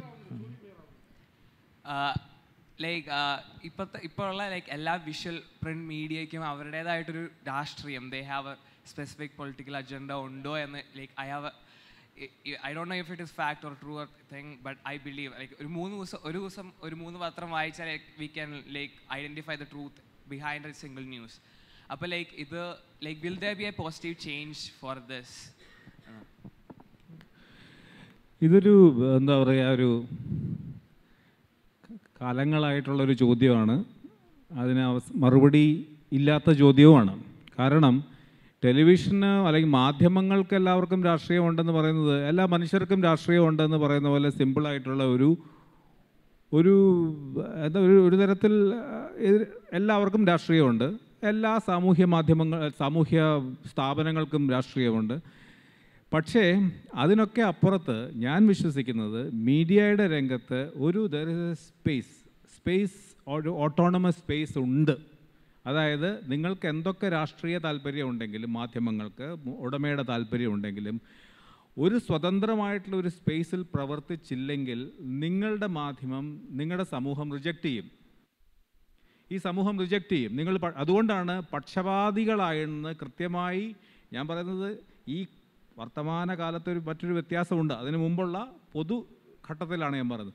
നിങ്ങൾക്കൊരു നിങ്ങളൊരു പക്ഷപാതിയാണ് നിങ്ങളുടെ മാധ്യമങ്ങൾ നിങ്ങളുടെ ഈ മാധ്യമം ഇന്ന പാർട്ടിയുടെ ആണെങ്കിൽ അല്ലെങ്കിൽ ഇന്ന മതത്തിന്റെ ആണെങ്കിൽ സ്വാഭാവികമായിട്ടും അതിന് ആ സമൂഹത്തിൽ താരതമ്യേന കുറഞ്ഞ ഇടമേ ലഭിക്കുകയുള്ളൂ എന്നുള്ള സംശയമില്ല അതുകൊണ്ടാണ് ഈ കേരളത്തിലെ ഏറ്റവും വലിയ പാർട്ടിയോ അല്ലെങ്കിൽ കേരളത്തിലെ ഏറ്റവും വലിയ മതമോ അവരുടെ തന്നെ ചാനലോ അവരുടെ തന്നെ പത്രമോ തുടങ്ങുകയാണെങ്കിൽ ഒരിക്കലും അത് ഒന്നാം സ്ഥാനത്ത് രണ്ടാം സ്ഥാനത്ത് മൂന്നാം സ്ഥാനത്ത് വരാൻ പോകുന്നില്ല. കാരണം അതിന്റെ അനുയായികൾ തന്നെ അതിന്റെ അംഗങ്ങൾ തന്നെ വാർത്ത അറിയാൻ രാഷ്ട്രീയം പക്ഷപാതം അല്ലെങ്കിൽ അവരുടെ കൂറ് പ്രകടിപ്പിക്കാൻ ചിലപ്പോൾ അവർ ആ പത്രമോ ചാനലോ പിന്നെ ഓൺ ചെയ്തേക്കാം. പക്ഷേ മറ്റ് പത്രങ്ങളും കൂടെ വായിച്ചാലേ രക്ഷയുള്ളൂ. മറ്റ് പത്രങ്ങൾ വായിക്കേണ്ടി വരും എന്നുള്ള ഒരു സ്പേസ് ഉണ്ട്. അപ്പോൾ എനിക്ക് തോന്നുന്നു മീഡിയയിൽ നിങ്ങൾ മാർക്കറ്റ് എന്ന് വിളിച്ചാലും സമൂഹം എന്ന് വിളിച്ചാലും ആ സ്പേസിൽ വർക്ക് ചെയ്തില്ലെങ്കിൽ ദിറ്റ് society or the market will reject you അപ്പോൾ അത് അതിന്റെ ഒരു കറക്റ്റീവ് ആയിട്ടുള്ള ഒരു മെക്കാനിസമാണ് നിങ്ങൾ പക്ഷപാതിയാണെങ്കിൽ തീർച്ചയായിട്ടും അതിൽ ബുദ്ധിപരമായിട്ട് സട്ടിലായിട്ട് രഹസ്യം പറ്റിയ വളരെ വളരെ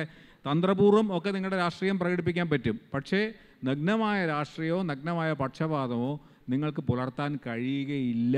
അപ്പോൾ വേറെ എന്തൊക്കെയോ ശരി ചെയ്യുന്നത് കൊണ്ട് തന്നെയാണ് ഒരുപക്ഷെ നിങ്ങൾക്ക് ആ ഈ വിഷയത്തിൽ നിങ്ങളൊരു പക്ഷപാതിയാണ് ഈ മാധ്യമം എന്ന് അറിഞ്ഞാലും എന്തുകൊണ്ടാണ് സമൂഹം അത് അക്സെപ്റ്റ് ചെയ്യുന്നതെന്നുള്ള. അപ്പോൾ അതുകൊണ്ടാണ് അതിന്റെ നിലനിൽപ്പ്.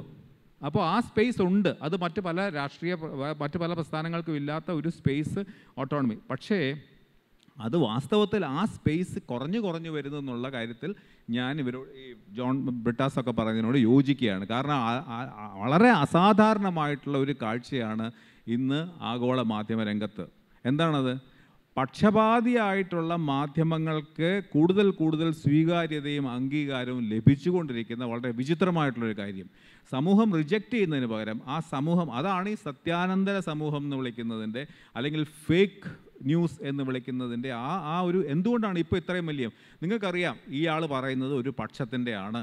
ഇതൊരു രാഷ്ട്രീയ പാർട്ടിക്കാണ് ഇത് പ്രതിപക്ഷത്തിനെതിരാണ് ഇത് ഹിന്ദു ഇതൊരു ഒരു മതത്തിന് അനുകൂലം മാത്രമാണ് എന്നറിഞ്ഞിട്ടും എന്തുകൊണ്ടാണ് റേറ്റിങ്ങിൽ അവർ മുമ്പിൽ വരുന്നത്? അത് മുമ്പൊന്നും ഉണ്ടായിട്ടില്ല. ഒരു കാലത്തും ഉണ്ടായിട്ടില്ല. അടിയന്തരാവസ്ഥ കാലത്ത് ഭീഷണി കൊണ്ട് ആൾക്കാർ അങ്ങനെയൊക്കെ പറഞ്ഞു. ഇന്നങ്ങനെയല്ല. നേരത്തെ ബ്രിട്ടാസൊക്കെ പറഞ്ഞ പോലെ സ്വയം സ്വീകരിച്ച് കർസേവ നടത്തുന്നു.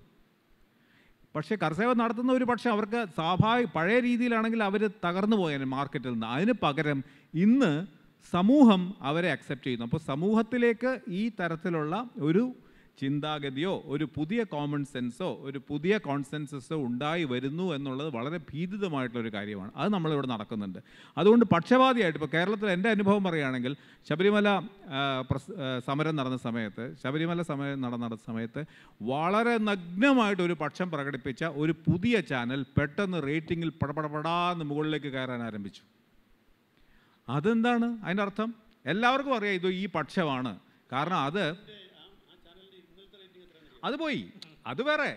അത് വേറെ. പക്ഷേ നിങ്ങൾ എന്താ സംഭവിച്ചത്? മൂന്ന് മാസം നാല് മാസമായിട്ട് അത് മൂന്നാം സ്ഥാനത്തും രണ്ടാം സ്ഥാനത്തും വന്നിട്ട് മറ്റ് ചാനലുകളെ കൂടെ മാറി ചിന്തിക്കാൻ പ്രേരിപ്പിച്ചുകൊണ്ടിരുന്നു കാരണം വ്യാഴാഴ്ച റേറ്റിംഗ് വരുമ്പോൾ നിങ്ങൾക്ക് വെള്ളിയാഴ്ച നിങ്ങൾക്ക് ഉത്തരം മാനേജ്മെന്റിനോട് പറയണം. നിങ്ങളുടെ റേറ്റിംഗ് എന്തുകൊണ്ട് താഴെ പോയി? നിങ്ങളിങ്ങനെ നിലപാടുണ്ട്. ഞാൻ ഭരണഘടനയുടെ ഒപ്പമാണ്. ഞാൻ സ്ത്രീ പുരുഷ സമത്വത്തിനൊപ്പമാണ് എന്നൊക്കെ പറയാം. പക്ഷേ വ്യാഴാഴ്ച റേറ്റിംഗ് താഴെ പോയാൽ വെള്ളിയാഴ്ച വിശദീകരിക്കാൻ പറ്റില്ല. അതുകൊണ്ടാണ് നിങ്ങൾ കാണുന്ന പല മാധ്യമങ്ങളും പതുക്കെ പതുക്കെ പതുക്കെ ചെറിയ മാറ്റങ്ങളിലേക്ക് പോലും കടന്നു പോകുന്ന ഒരു അവസ്ഥയിലേക്ക്. ഞാൻ പറയുന്നത് അത് ആദ്യമായിട്ടാണ്. ഇങ്ങനെ ഒരു പുതിയ സമവായം ഇപ്പോൾ നേരത്തെ പറഞ്ഞ പോലെ സാമ്പത്തികമായിട്ട് അഞ്ച് ശതമാനത്തിൽ പോയിട്ടും പിന്നെ ഭീകരമായിട്ടുള്ള തൊഴിലില്ലായ്മ ഉണ്ടായിട്ടും ഒക്കെ ഒരു രാഷ്ട്രീയ പാർട്ടി ജയിച്ചുകൊണ്ടേയിരിക്കുന്നു.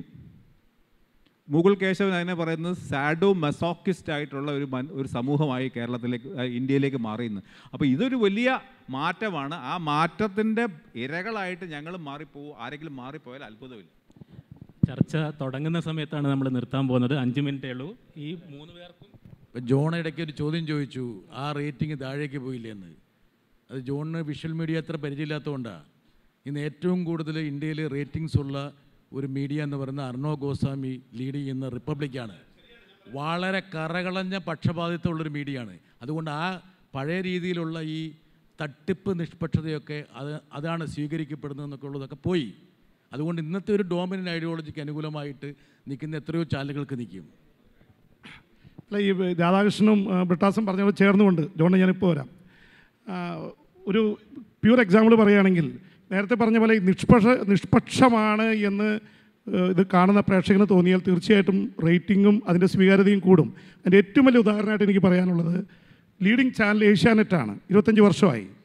ഏഷ്യാനെറ്റിന് ഒരു സമയത്ത് ഇന്ത്യ വിഷൻ വന്ന സമയത്ത് ഇന്ത്യ വിഷൻ കടന്നു കയറി. അതിന്റെ ഒറ്റ കാരണം എന്താണ്? ഇന്ത്യ വിഷൻ ഏഷ്യാനെറ്റിനേക്കാളും മറ്റ് ചാനലുകളെക്കാളും സ്വീകാര്യമായ ഒരു ചാനലാണെന്നുള്ളൊരു പ്രതീതി ഉണ്ടാക്കാൻ അവർക്ക് കഴിഞ്ഞു. ശരിയോ തെറ്റോ? അത് കാലം തെളിയിക്കേണ്ടതാണ്. എം കെ മുനീർ നേതൃത്വം നൽകുന്ന മുസ്ലിം ലീഗിന്റെ ഒരു നേതാവ് നേതൃത്വം നൽകുന്ന ചാനലിൽ കുഞ്ഞാലിക്കുട്ടി എന്ന മുസ്ലിം ലീഗിന്റെ നേതാവിനെതിരെ ലൈംഗിക ആരോപണം വന്നപ്പോൾ അത് കൊണ്ടുവന്നതും ആരോപണം ഉന്നയിച്ചതും അത് മുന്നോട്ട് കൊണ്ടുപോയതും ഇന്ത്യ വിഷ ഒറ്റ സംഭവത്തിലാണ് അത് അവർ കയറി വരുന്നത്. എന്ന് വെച്ചാൽ ഇവർ ആർക്കെതിരെയും സ്വന്തം ചാനലിലെ ഉടമയ്ക്കെതിരെയും വേണ്ടി വന്നാൽ ഇത് കൊടുക്കുമെന്നുള്ളൊരു ചിന്ത ഇവർ സത്യസന്ധമായിട്ട് റിപ്പോർട്ട് ചെയ്യുന്നു. എന്നൊരു ചിന്ത ഉണ്ടായതിന്റെ പുറത്ത്. ഇന്ന് ആ ചാനൽ വർക്ക് ചെയ്യുന്നില്ല. പക്ഷെ അത് വേറെ കാര്യം. ആ ഒരു സമയത്ത് എല്ലാ ചാനലിന്റെയും മേലെ കയറി പോകാൻ പറ്റിയത് ഇതൊരു നിഷ്പക്ഷ നിഷ്പക്ഷ എന്ന് പറയുന്നത് ഇവരെ സോക്കോൾ നിഷ്പക്ഷമല്ല ജനങ്ങളോട് അടുത്ത് നിൽക്കുന്ന ജനങ്ങൾ ആകെ അറിയാൻ ആഗ്രഹിക്കുന്ന കാര്യങ്ങൾ ഇവർ തുറന്നു പറയും. ഇതൊരു സംഭവമാണ്. പിന്നെ നേരത്തെ പറഞ്ഞ പോലെ അർണാബ് ഗോസ്വാമി നേടിയത് ഒരു വലിയ ഫിനോമനായിട്ട് ഞാൻ കാണുന്നില്ല. അതൊരു നേരത്തെ പറഞ്ഞ പോലെ ടെക്നോളജിയുടെയും വൈബ്രന്റ് ഇതിന്റെയും കളറിന്റെയും മൊത്തം ഒരു അഗ്രസീവ് ജേർണലിസം ഭയങ്കരമായിട്ട് നമുക്ക് എനർജിയുള്ള ഒരു സംസാരം കേട്ടാൽ നമ്മൾ ശ്രദ്ധിച്ചിരുന്നു പോകും. അതിനെ ഒരു ഒരു തലത്തിൽ ഒരു മീഡിയോക്കർ ഇതിൽ ഉപയോഗിച്ചിരിക്കുക. പിന്നെ കാശ്മീരിന്റെ കാര്യത്തിലുള്ളൊരു കാര്യം എനിക്ക് പറയാനുള്ളത്. കാശ്മീർ ഭയങ്കര ഒരു ടാക്ടിക്കൽ ഇതാണ്. സ്യൂഡോ പാട്രിയോട്ടിസം പറഞ്ഞ് വടക്കേ ഇന്ത്യയിലെ മുപ്പത് കോടി ജനങ്ങൾ വായിക്കാൻ എഴുതാൻ അറിയാത്തൊരു രാജ്യമാണ് ഇന്ത്യ നിങ്ങൾ മനസ്സിലാക്കണം. ആ രാജ്യത്ത് സ്യൂഡോ ഇന്ത്യ പാകിസ്ഥാൻ എന്ന് പറഞ്ഞാൽ അവിടെയൊക്കെ കേരളത്തിൽ ഒരുപക്ഷെ അത്രയും ഉണ്ടാവില്ലായിരിക്കും. തെളിക്കും. വളരെ വ്യക്തമായിട്ട് ഞാൻ ബി ജെ പി അതിൽ എന്താ പറയുക കുറ്റം പറയാനോ അല്ലെങ്കിൽ അവരെ കൈയടിക്കാനൊന്നും ഇതിയല്ല. ദേ എ ബിഗ് സ്ട്രാറ്റജി ഇതെല്ലാം പരാജയപ്പെട്ടിരിക്കുക ഡിമോണിറ്റൈസേഷൻ തൊഴിലില്ലായ്മ. ഒരു തരത്തിലും ബി ജെ പിക്ക് അനുകൂലമായ ട്രെൻഡല്ല. അവരിതിൽ നിന്ന് ഇത് മറയ്ക്കാനായിട്ട് നേരെ പാട്രിയോട്ടിസം എന്നുള്ള സിമ്പിൾ എടുത്തിട്ടു. പാകിസ്ഥാനുമായിട്ട് യുദ്ധസമാന സിറ്റുവേഷൻ ഉണ്ടാക്കി. ഇന്ത്യയുടെ ഇതുണ്ടാക്കി അപ്പോൾ ഒരു സ്യൂഡോ പാട്രിയോട്ടിസത്തിന്റെ ഒരു ഇതുണ്ടാക്കി ഉണ്ടാക്കിയിട്ടാണ്. അത് തന്നെയാണ് അർണാബ് കാണിക്കുന്നത്. Pseudo that will not sustain എന്ന് വിചാരിച്ചിട്ട് ഈ നാല് അഞ്ച് ഇംഗ്ലീഷ് ചാനലുകൾ എടുക്കുന്ന നിലപാടിലേക്ക് കാര്യങ്ങൾ പോകുമെന്ന് എനിക്ക് അഭിപ്രായമില്ല. ബ്രിട്ടാസ് പറഞ്ഞതിനോട് ഒരു കാര്യം യോജിക്കുമ്പോൾ തന്നെ വിഷ്വൽ മീഡിയയിലെ നാലഞ്ച് ചാനലുകളല്ല ഇന്ത്യയിൽ അജണ്ട നിശ്ചയിക്കുന്നത്.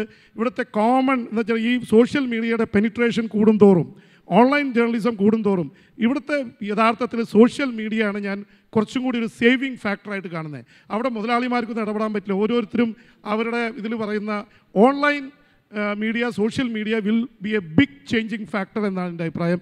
അതുകൊണ്ട് ഇതിൽ ഞാൻ ഒട്ടും പെസിമിസ്റ്റിക് അല്ല. വളരെ ഒപ്റ്റിമിസ്റ്റിക് ആയിട്ട് ഞാൻ പറയുകയാണ് ഇന്ത്യയിലെ ലോകത്തിലെ ജേർണലിസത്തിന്റെ ഈ ഇത് ഡീസെൻട്രലൈസേഷൻ ഓഫ് ന്യൂസ് അല്ലെങ്കിൽ സിറ്റിസൺ ജേർണലിസം വന്നോടുകൂടി എവറിത്തിങ് വിൽ ചേഞ്ച് ഈ ചർച്ചയിൽ കാശ്മീർ എന്ന വാക്ക് കൊണ്ടുവന്നതിന് ഞാൻ ബ്രിട്ടാസിനോട് കടപ്പെട്ടിരിക്കുകയാണ്. കാരണം ഈ ചർച്ചയിൽ ആ വാക്ക് വന്നില്ലായിരുന്നെങ്കിൽ ഇന്ന് ഇരുപത് ദിവസം കഴിഞ്ഞിട്ടും ഹോങ്കോങ്ങിലേക്ക് പോലും റിപ്പോർട്ടർമാരെ പറഞ്ഞയക്കുന്നത് നമ്മുടെ നാട്ടിൽ കാശ്മീർ ജനതയുടെ ശബ്ദം കേൾക്കണം എന്നുള്ളത്. ആ അല്ല എന്നാലും ഞാനിപ്പോൾ ചോദിക്കുന്നത് വെച്ചാൽ ഈ പ്രസ് കൗൺസിൽ ഓഫ് ഇന്ത്യയുടെ ചെയർമാൻ ആദ്യം സുപ്രീം കോടതി പോയി കക്ഷി കയറുന്ന ഒരു രാജ്യമാണ് നമ്മൾ എന്നുള്ളത് നമുക്ക് മറക്കാൻ പറ്റില്ല. എന്തായാലും ഒരു രണ്ട് മിനിറ്റ് ശ്രീ ജോണിന് ഇതിനോട് റെസ്പോണ്ട് ചെയ്യാൻ കൊടുത്തുകൊണ്ട് അത് അവസാന വാചകമായി കാരണം ഒരു ക്രമസമാധാനം എനിക്ക് ഏറ്റവും ഇഷ്ടമുള്ള കാര്യമല്ല പാലനം പക്ഷേ എന്നെ ഏൽപ്പിച്ചുകൊണ്ട് ഞാൻ പണി ചെയ്തതാണ്. അദ്ദേഹത്തിന് കൊടുക്കും കൈമാറും. ഒന്നാമത് ഇവിടെ ഉണ്ട ചർച്ചയിൽ വന്നിരിക്കുന്ന ഒരു അത് നേരത്തെ ബ്രിട്ടാസ് പറഞ്ഞപ്പോൾ ബ്രി- ബ്രിട്ടാസ് തന്നെ പരാമർശിച്ച ഒരു കാര്യം. കേരളത്തിലെ സ്ഥിതിയും കേരളത്തിന് പുറത്തുള്ള സ്ഥിതിയും രണ്ടാണ്. ആ വസ്തു നാം നമ്മളെല്ലാം കാണണം. ദേശീയ തലത്തിൽ ബ്രിട്ടാസ് പറഞ്ഞതൊക്കെ സത്യഭാഷ കേരളത്തിലെ മാധ്യമങ്ങളെ സംബന്ധിച്ച് കേരളത്തിലെ മാധ്യമങ്ങൾ തൊണ്ണൂ തൊണ്ണൂറ്റി തൊണ്ണൂറ്റൊമ്പത് ശതമാനവും വളരെ സ്വതന്ത്രമായിട്ട് തന്നെയും ആണ് റിപ്പോർട്ട് ചെയ്യുന്നത്. സത്യസന്ധമായിട്ടാണ്. ഞാൻ അടിസ്ഥാനപരമായിട്ട് എല്ലാ മാധ്യമങ്ങൾക്കും അവരുടേതായിട്ടുള്ള താല്പര്യങ്ങളും അവരുടേതായിട്ടുള്ള വ്യവ- വ്യവസായം എന്നുള്ള നിലയിലുള്ള അവരുടേതായിട്ടുള്ള നിലപാടുകളും താല്പര്യങ്ങളും ഒക്കെ ഉണ്ടാവും. പക്ഷേ ഞാൻ ഒരൊറ്റ ചോദ്യം ചോദിക്കുന്നു. ഏത് വാർത്തയാണ് രാഷ്ട്രീയ പാർട്ടികളെ പ്രതിനിധീകരിക്കുന്ന പത്രങ്ങളോ മാധ്യമങ്ങളോ അല്ലാതെ ഏതെങ്കിലും സമുദായ സംഘടനകളെ സമുദായത്തെ പ്രതിനിധീകരിക്കുന്ന പത്രങ്ങളോ വാർത്ത മാധ്യമങ്ങളോ അല്ലാതെ ഏത് പത്രമാണ് ഏത് വാർത്തയാണ് കഴിഞ്ഞ ഒരാഴ്ചക്കുള്ളിൽ സംസ്കരിച്ചത്? നിങ്ങൾ പറയുക. വാർത്തകൾ കൊടുക്കുന്നതിന്റെ ഏറ്റക്കുറിച്ചിലുണ്ടാവാം ഹൈലൈറ്റ് ചെയ്യുന്നതിന് വ്യ- വ്യത്യാസം ഉണ്ടാവാം പക്ഷേ ഏത് വാർത്തയാണ് സംസ്കരിച്ചത്? സംസ്കരിക്കാൻ പറ്റില്ല. അതിന്റെ കാരണം നേരത്തെ ജെയിംസ് പറഞ്ഞത് തന്നെയാണ്. സംസ്കരിക്കാൻ ശ്രമിച്ചാൽ വായനക്കാരുണ്ടാവില്ല. കേരളമാണത്. കേരളത്തിൽ അങ്ങനെയാണ്. ഒട്ടേറെ ഉദാഹരണങ്ങൾ പറയാനുണ്ട്. ഞാൻ മലയാള മനോരമ ഒരു വാർത്ത സംസ്കരിച്ചാൽ റിപ്പോർട്ട് ചെയ്യാൻ വേണ്ടി വേറൊരു പത്രമുണ്ട്. മനോരമയും മാതൃഭൂമിയും കേരളവുമതിയും സംസ്കരിച്ചാൽ റിപ്പോർട്ട് ചെയ്യാൻ വേണ്ടി ചാനലുകളുണ്ട് ഇവിടെ. ഇവരെല്ലാം സംസ്കരിച്ചാൽ തന്നെ ഇത് റിപ്പോർട്ട് ചെയ്യാൻ വേണ്ടി ഇത് സോഷ്യൽ മീഡിയയിലൂടെ പുറത്തു വരും. ഒന്നും ഇവിടെ സംസ്കരിക്കാൻ പറ്റില്ല. എല്ലാ റിപ്പോർട്ടുകളും നിലപാടുകളുണ്ടെങ്കിൽ പോലും നിലപാടുകൾക്കനുസൃതമായിട്ട് മാത്രമല്ല വാർത്തകൾ റിപ്പോർട്ട് ചെയ്യുന്നത്. സത്യസന്ധമായിട്ട് തന്നെ കാര്യങ്ങൾ റിപ്പോർട്ട് ചെയ്യുന്നുണ്ട്. നയന്റി നയൻ പെർസെന്റും ഞാൻ ഹൺഡ്രഡ് പെർസെന്റ് എന്ന് പറയുന്നില്ല. അതുകൊണ്ട് ഇത്തരം കാര്യങ്ങളിൽ കേരളത്തെയും കേരള ദേശീയ തലത്തിലെ സ്ഥിതി അതല്ല സമ്മതിക്കുന്നുണ്ട്. അതിന്റെ ഒരു ഒരു അൻഡണ്ണനമല്ല അതിന്റെ ഒരു ഒരു ഇൻക്ലൂഡിങ് ഇവിടേക്ക് വരുന്നുണ്ടെങ്കിൽ സ്വാഭാവികമായിട്ടും അതിനെ തടഞ്ഞു നിർത്താനായിട്ട് കേരളത്തിലെ മാധ്യമങ്ങൾ കഴിയണം കഴിയുമെന്ന് തന്നെയാണ് ഞാൻ വിശ്വസിക്കുന്നത്. ഇതാണ് എനിക്ക് കൺക്ലൂഡിംഗ് ആയിട്ട് പറയാനുള്ളത്. താങ്ക് യു വോളിബോളിൽ അടുത്ത ടീം വന്ന് വാമപ്പ് ചെയ്ത് നമുക്ക് കാണാം. ചർച്ച ഇവിടെ അവസാനിക്കുകയാണ്. We would we would extend we would extend our sincere thanks to all